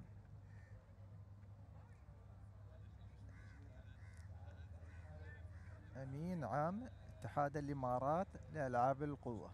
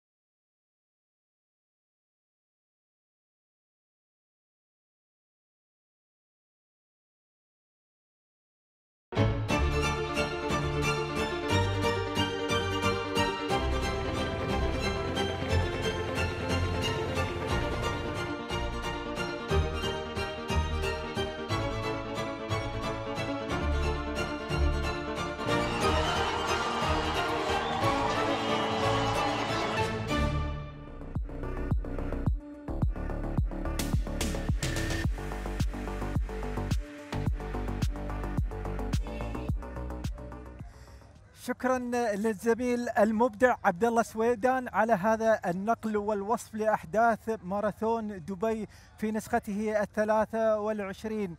تنظيم عالمي مميز يحدث هنا على أرض دانة الدنيا في هذا التجمع العالمي. للحديث أكثر حول النسخة الثلاثة وعشرين من ماراثون دبي. يسعدني أن ارحب بضيفي في الاستوديو سعادة ناصر عاشور أمين عام اتحاد الإمارات العربية المتحدة لألعاب القوى بداية ناصر ارحب بك عبر دبي الرياضيه وسعيد بتواجدك معي في هذا آه، الاستديو. تنظيم جدا عالمي مميز لهذا الحدث الرياضي. آه، الحمد لله. طبعا في البداية أرحب فيك أخوي وأرحب في الساده المشاهدين. آه، التنظيم مو بشيء جديد على دولة الإمارات وإمارة دولة الإمارات وإمارة دبي. نعم. بالذات آه، النسخة 23 انت ذكرتها نعم. آه، نسخة عن نسخة تبارك الرحمن في إبهار نعم آه، في حضور آه، في أعداد آه، في صيت للبطولة نعم. آه، بشكل أجمل نعم. شيء ملحوظ نعم شاهدنا اليوم أيضا التنافس بين الفئات المختلفة تمايز جدا جميل هناك أرقام قياسية جديدة صحيح. وهناك كان صحيح. محاولة لتحطيم الأرقام نعم. بس أنا ببدأ بفئة أصحاب الهمم لأن شفنا آه، نعم. شيء مميز يخص آه، دولة الإمارات وهو تحقيق آه، بدر الحوسني المركز الرابع وأيضا التأهل للألعاب البارالمبية. نعم. آه، طبعا آه، بلا شك آه، اليوم آه، المستوى والإنجاز اللي حققه اللاعب بدر الحوسني شيء نحن نفرح فيه وصعوده لل- للبطولات ال- البارالمبية. أبارك للجنة البارالمبيه طبعا آه، بهذا الإنجاز. نعم. وبارك لدولة الإمارات آه، بالصعود. شيء فرحنا. صحيح. يعني فرحنا يوم شفناه. وهاي الفئة فئة فيها إنجازات. نعم. وفيها عمل طيب يعني عمل ملحوظ. نعم. والحمد لله اليوم ودائما هي. ما تبدع يعني نعم. في المنافسات العالمية نعم. آه، فئة أصحاب الهمم في تمثيل دولة الإمارات. نعم صحيح صحيح. نعم نتكلم أيضا عن المنافسة في فئة آه، الرجال. آه، شاهدنا التنافس بين ال- العدائين الأثيوبيين والكينيين وهذا عاد آه، يعني شيء متوقع. شيء متوقع صحيح. نعم أديسو يحقق المركز الأول. آه التنافس طبعا إحنا كنا نشوفه عبر الشاشة. آه ما كنا متوقعين منو الأول منو الثاني لأن اثنيناتهم كان في تنافس صحيح. من بينهم. آه ما بنقول كأرقام طيبة بس كأرقام طيبة بالنسبة لهم هم صحيح. كانت موجودة وإنجاز لهم. آه بطولة جيدة وأثروها بشكل كامل يعني حتى الرجال اللي معاهم كانت ال ال ال ال كانت المنافسة جيدة. نعم نشوف آخر آه، آخر كيلو. آخر كيلو. نعم. آه التنافس من بينهم. نعم. كان التنافس شرس مثل ما يقولون. نعم. فنبارك يعني للي فاز وصفقنا له نحن ويستاهل. نعم بنروح للفئة السيدات. أيضا كانت هناك اليوم رقم جدا جميل رقم آه، قياسي آه، تواجد لأول مرة وهو ساعتين آه، وتقريبا 16 دقيقة و10 ثواني عن عبر آه، كتيمة الأثيوبية. هذا الرقم أيضا له مردود على ماراثون دبي. صحيح. آه، كرقم رقم جديد. آه الحمد لله هاي الأرقام يعني تدل أن التنظيم ممتاز. نعم. اللاعبين جايين مرتاحين. في تجهيز للبطولة مش بطولة يعني إنهم بالنسبة لهم جديدة. آه في مشاركين في منافسة في البطولة. آه أن أنت تحقق الرقم من سنة لسنة أفضل. يعني هذا يدل أن اختيار المسار اختيار الوقت انطلاقة. اختيار الأمور الفنية للاعبين تدل أفضل. نعم خلينا نروح للزميل آه، راشد النجار وحديثه مع الفائزين في ماراثون دبي. تفضل راشد. شكرا محمد. نعم معي الآن سعادة سعيد حارب الأمين العام لمجلس دبي الرياضي. في البداية نرحب بك سعادتك على شاشة دبي الرياضية. ونبارك لكم النجاح الباهر في تنظيم الأحداث العالمية. واليوم إقبال كبير من المشاركين في هذا الماراثون. بسم الله الرحمن الرحيم. الشكر موصول